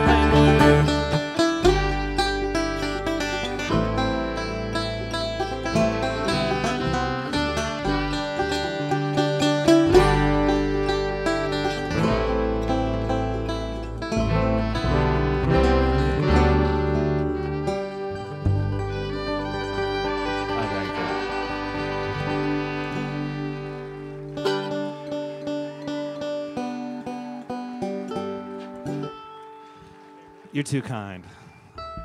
So, so many years ago, when I plucked Adam from his heavy metal band and told him that he would love bluegrass if he just gave it a chance, I made him go to the Rocky Grass Academy. Made him go. It wasn't too hard, but he went to the Rocky Grass Academy with Jenna and I as our guest, and for a, a full week of full bluegrass immersion in tubing. And he always loved this next song, but we had two problems. We didn't have a fiddle player in the band, and I think he was the only one who could play it. So, 10 years later, we present to you Madeline Wheeler. and the song Adam always wanted us to play.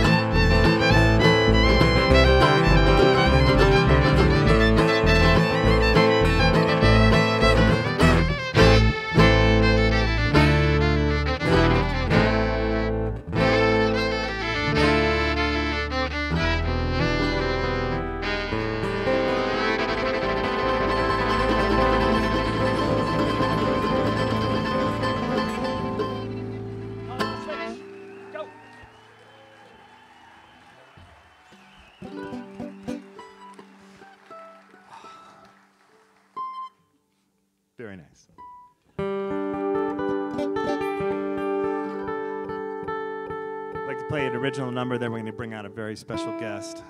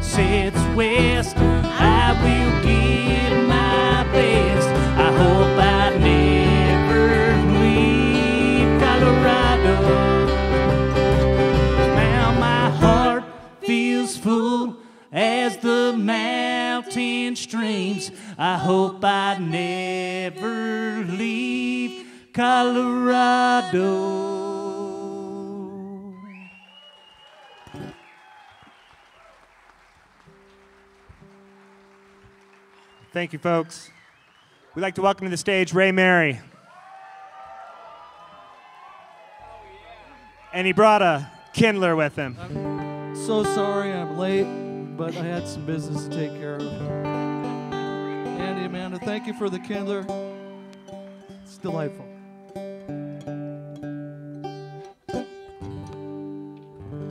Well, he gets plugged in. Ray, I think, was close with all the guys. I know Adam and I both worked for and with Ray, and so did Andy, and Seth was close to the Energy Smart program. Work around me.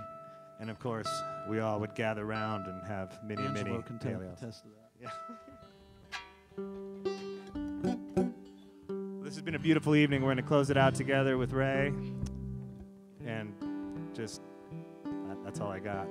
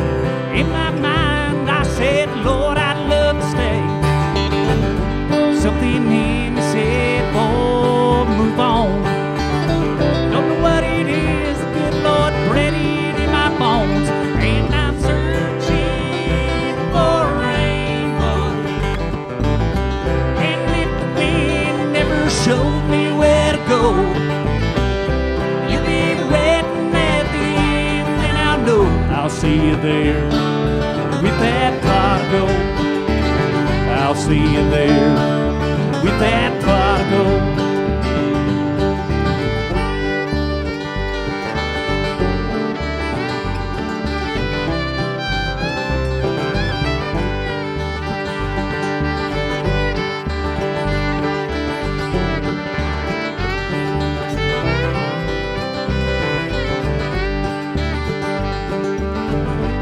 This old man I'm riding, she's getting kinda tired.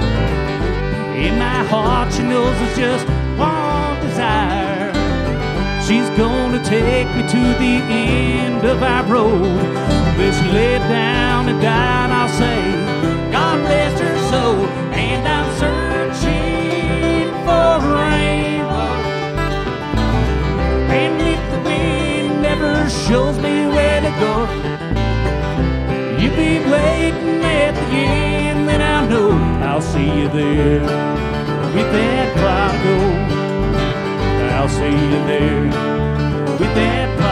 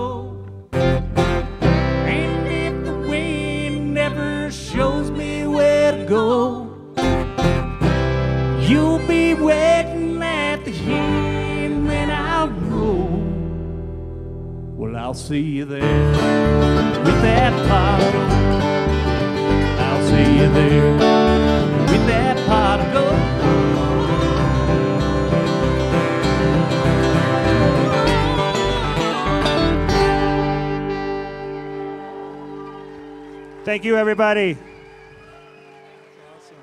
Thank you. God bless these guys.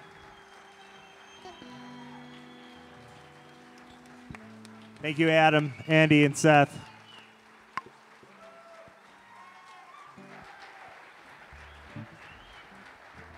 I, I wonder if I could get you guys. I only have one more paragraph. Wouldn't you like to hear them play more? Oh. You play. You play something soft. I'll finish it off, and I'll try not to cry. I, I, I held it back. Uh, it's just been incredible tonight, hasn't it? Um, go ahead. Go ahead. Let's hear something as we finish this off.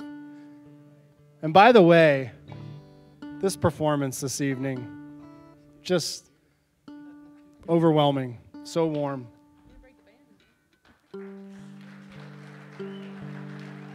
Small technical problem. Go ahead, start, band. Thank you. Something light, and we'll finish this I always up. break we'll let- something at every gig. Yeah, go ahead. Go ahead. He's not lying. It's been very touching. Stick to the script, Ken. But I can't for a moment.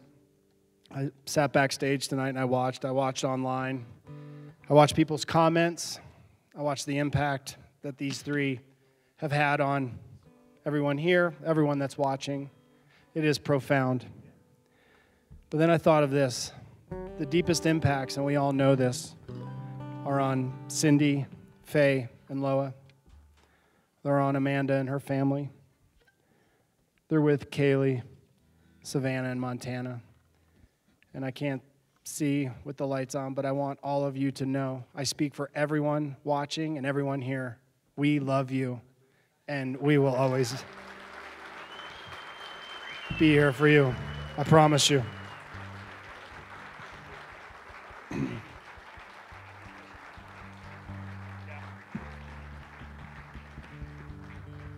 I wrote this this morning.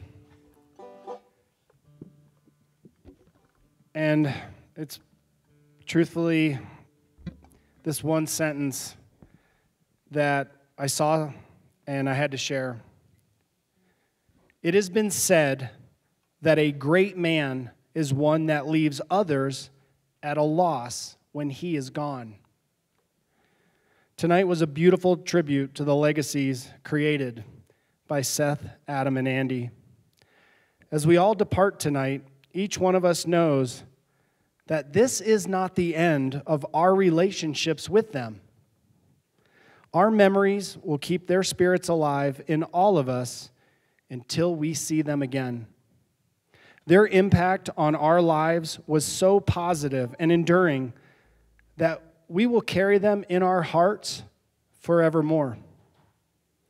Each one of us invested our time, energy, and love into them, and they put that same effort right back into us. They cared for us, and they wanted to see us happy, successful, and living our lives to the fullest, just as they were doing right up until they went ahead. They will never be forgotten and will continue to inspire all of us as though they are right here by our side because they are. Good night, friends. God bless.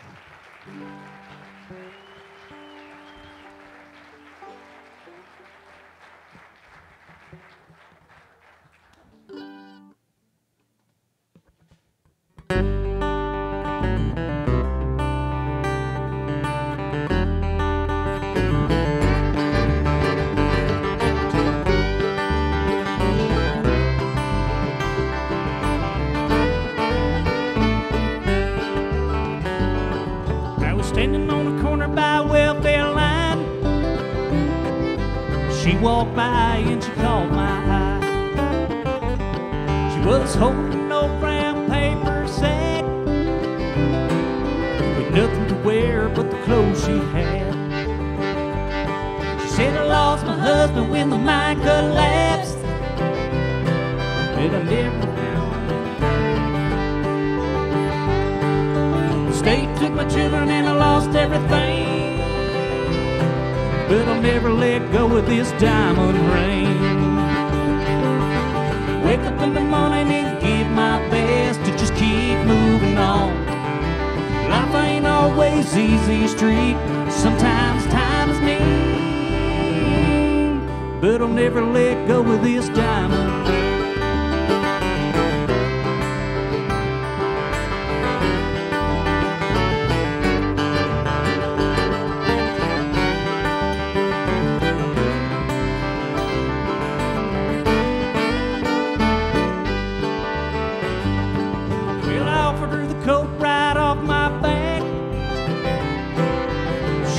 smiled and she took my hat.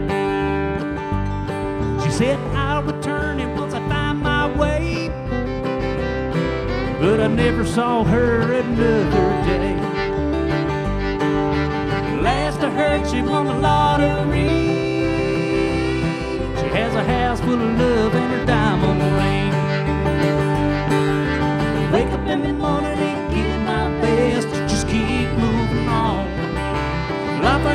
always easy street. Sometimes time is mean, but I'll never let go of this diamond ring. Where were you last night when I was alone? I was waiting by the phone. Ooh, last night when I was alone, I was waiting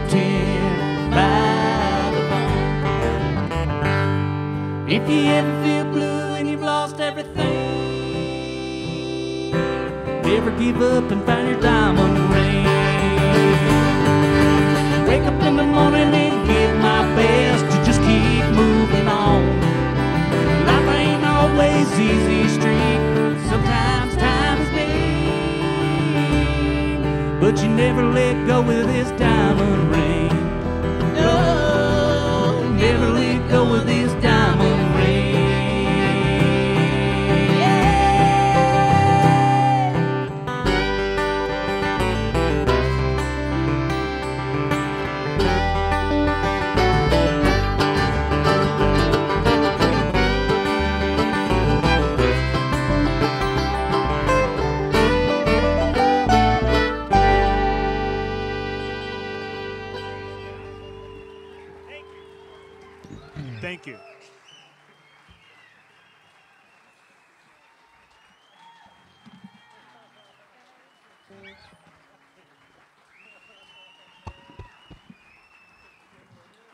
Thank you, everybody. It's been an honor. We'll see you all.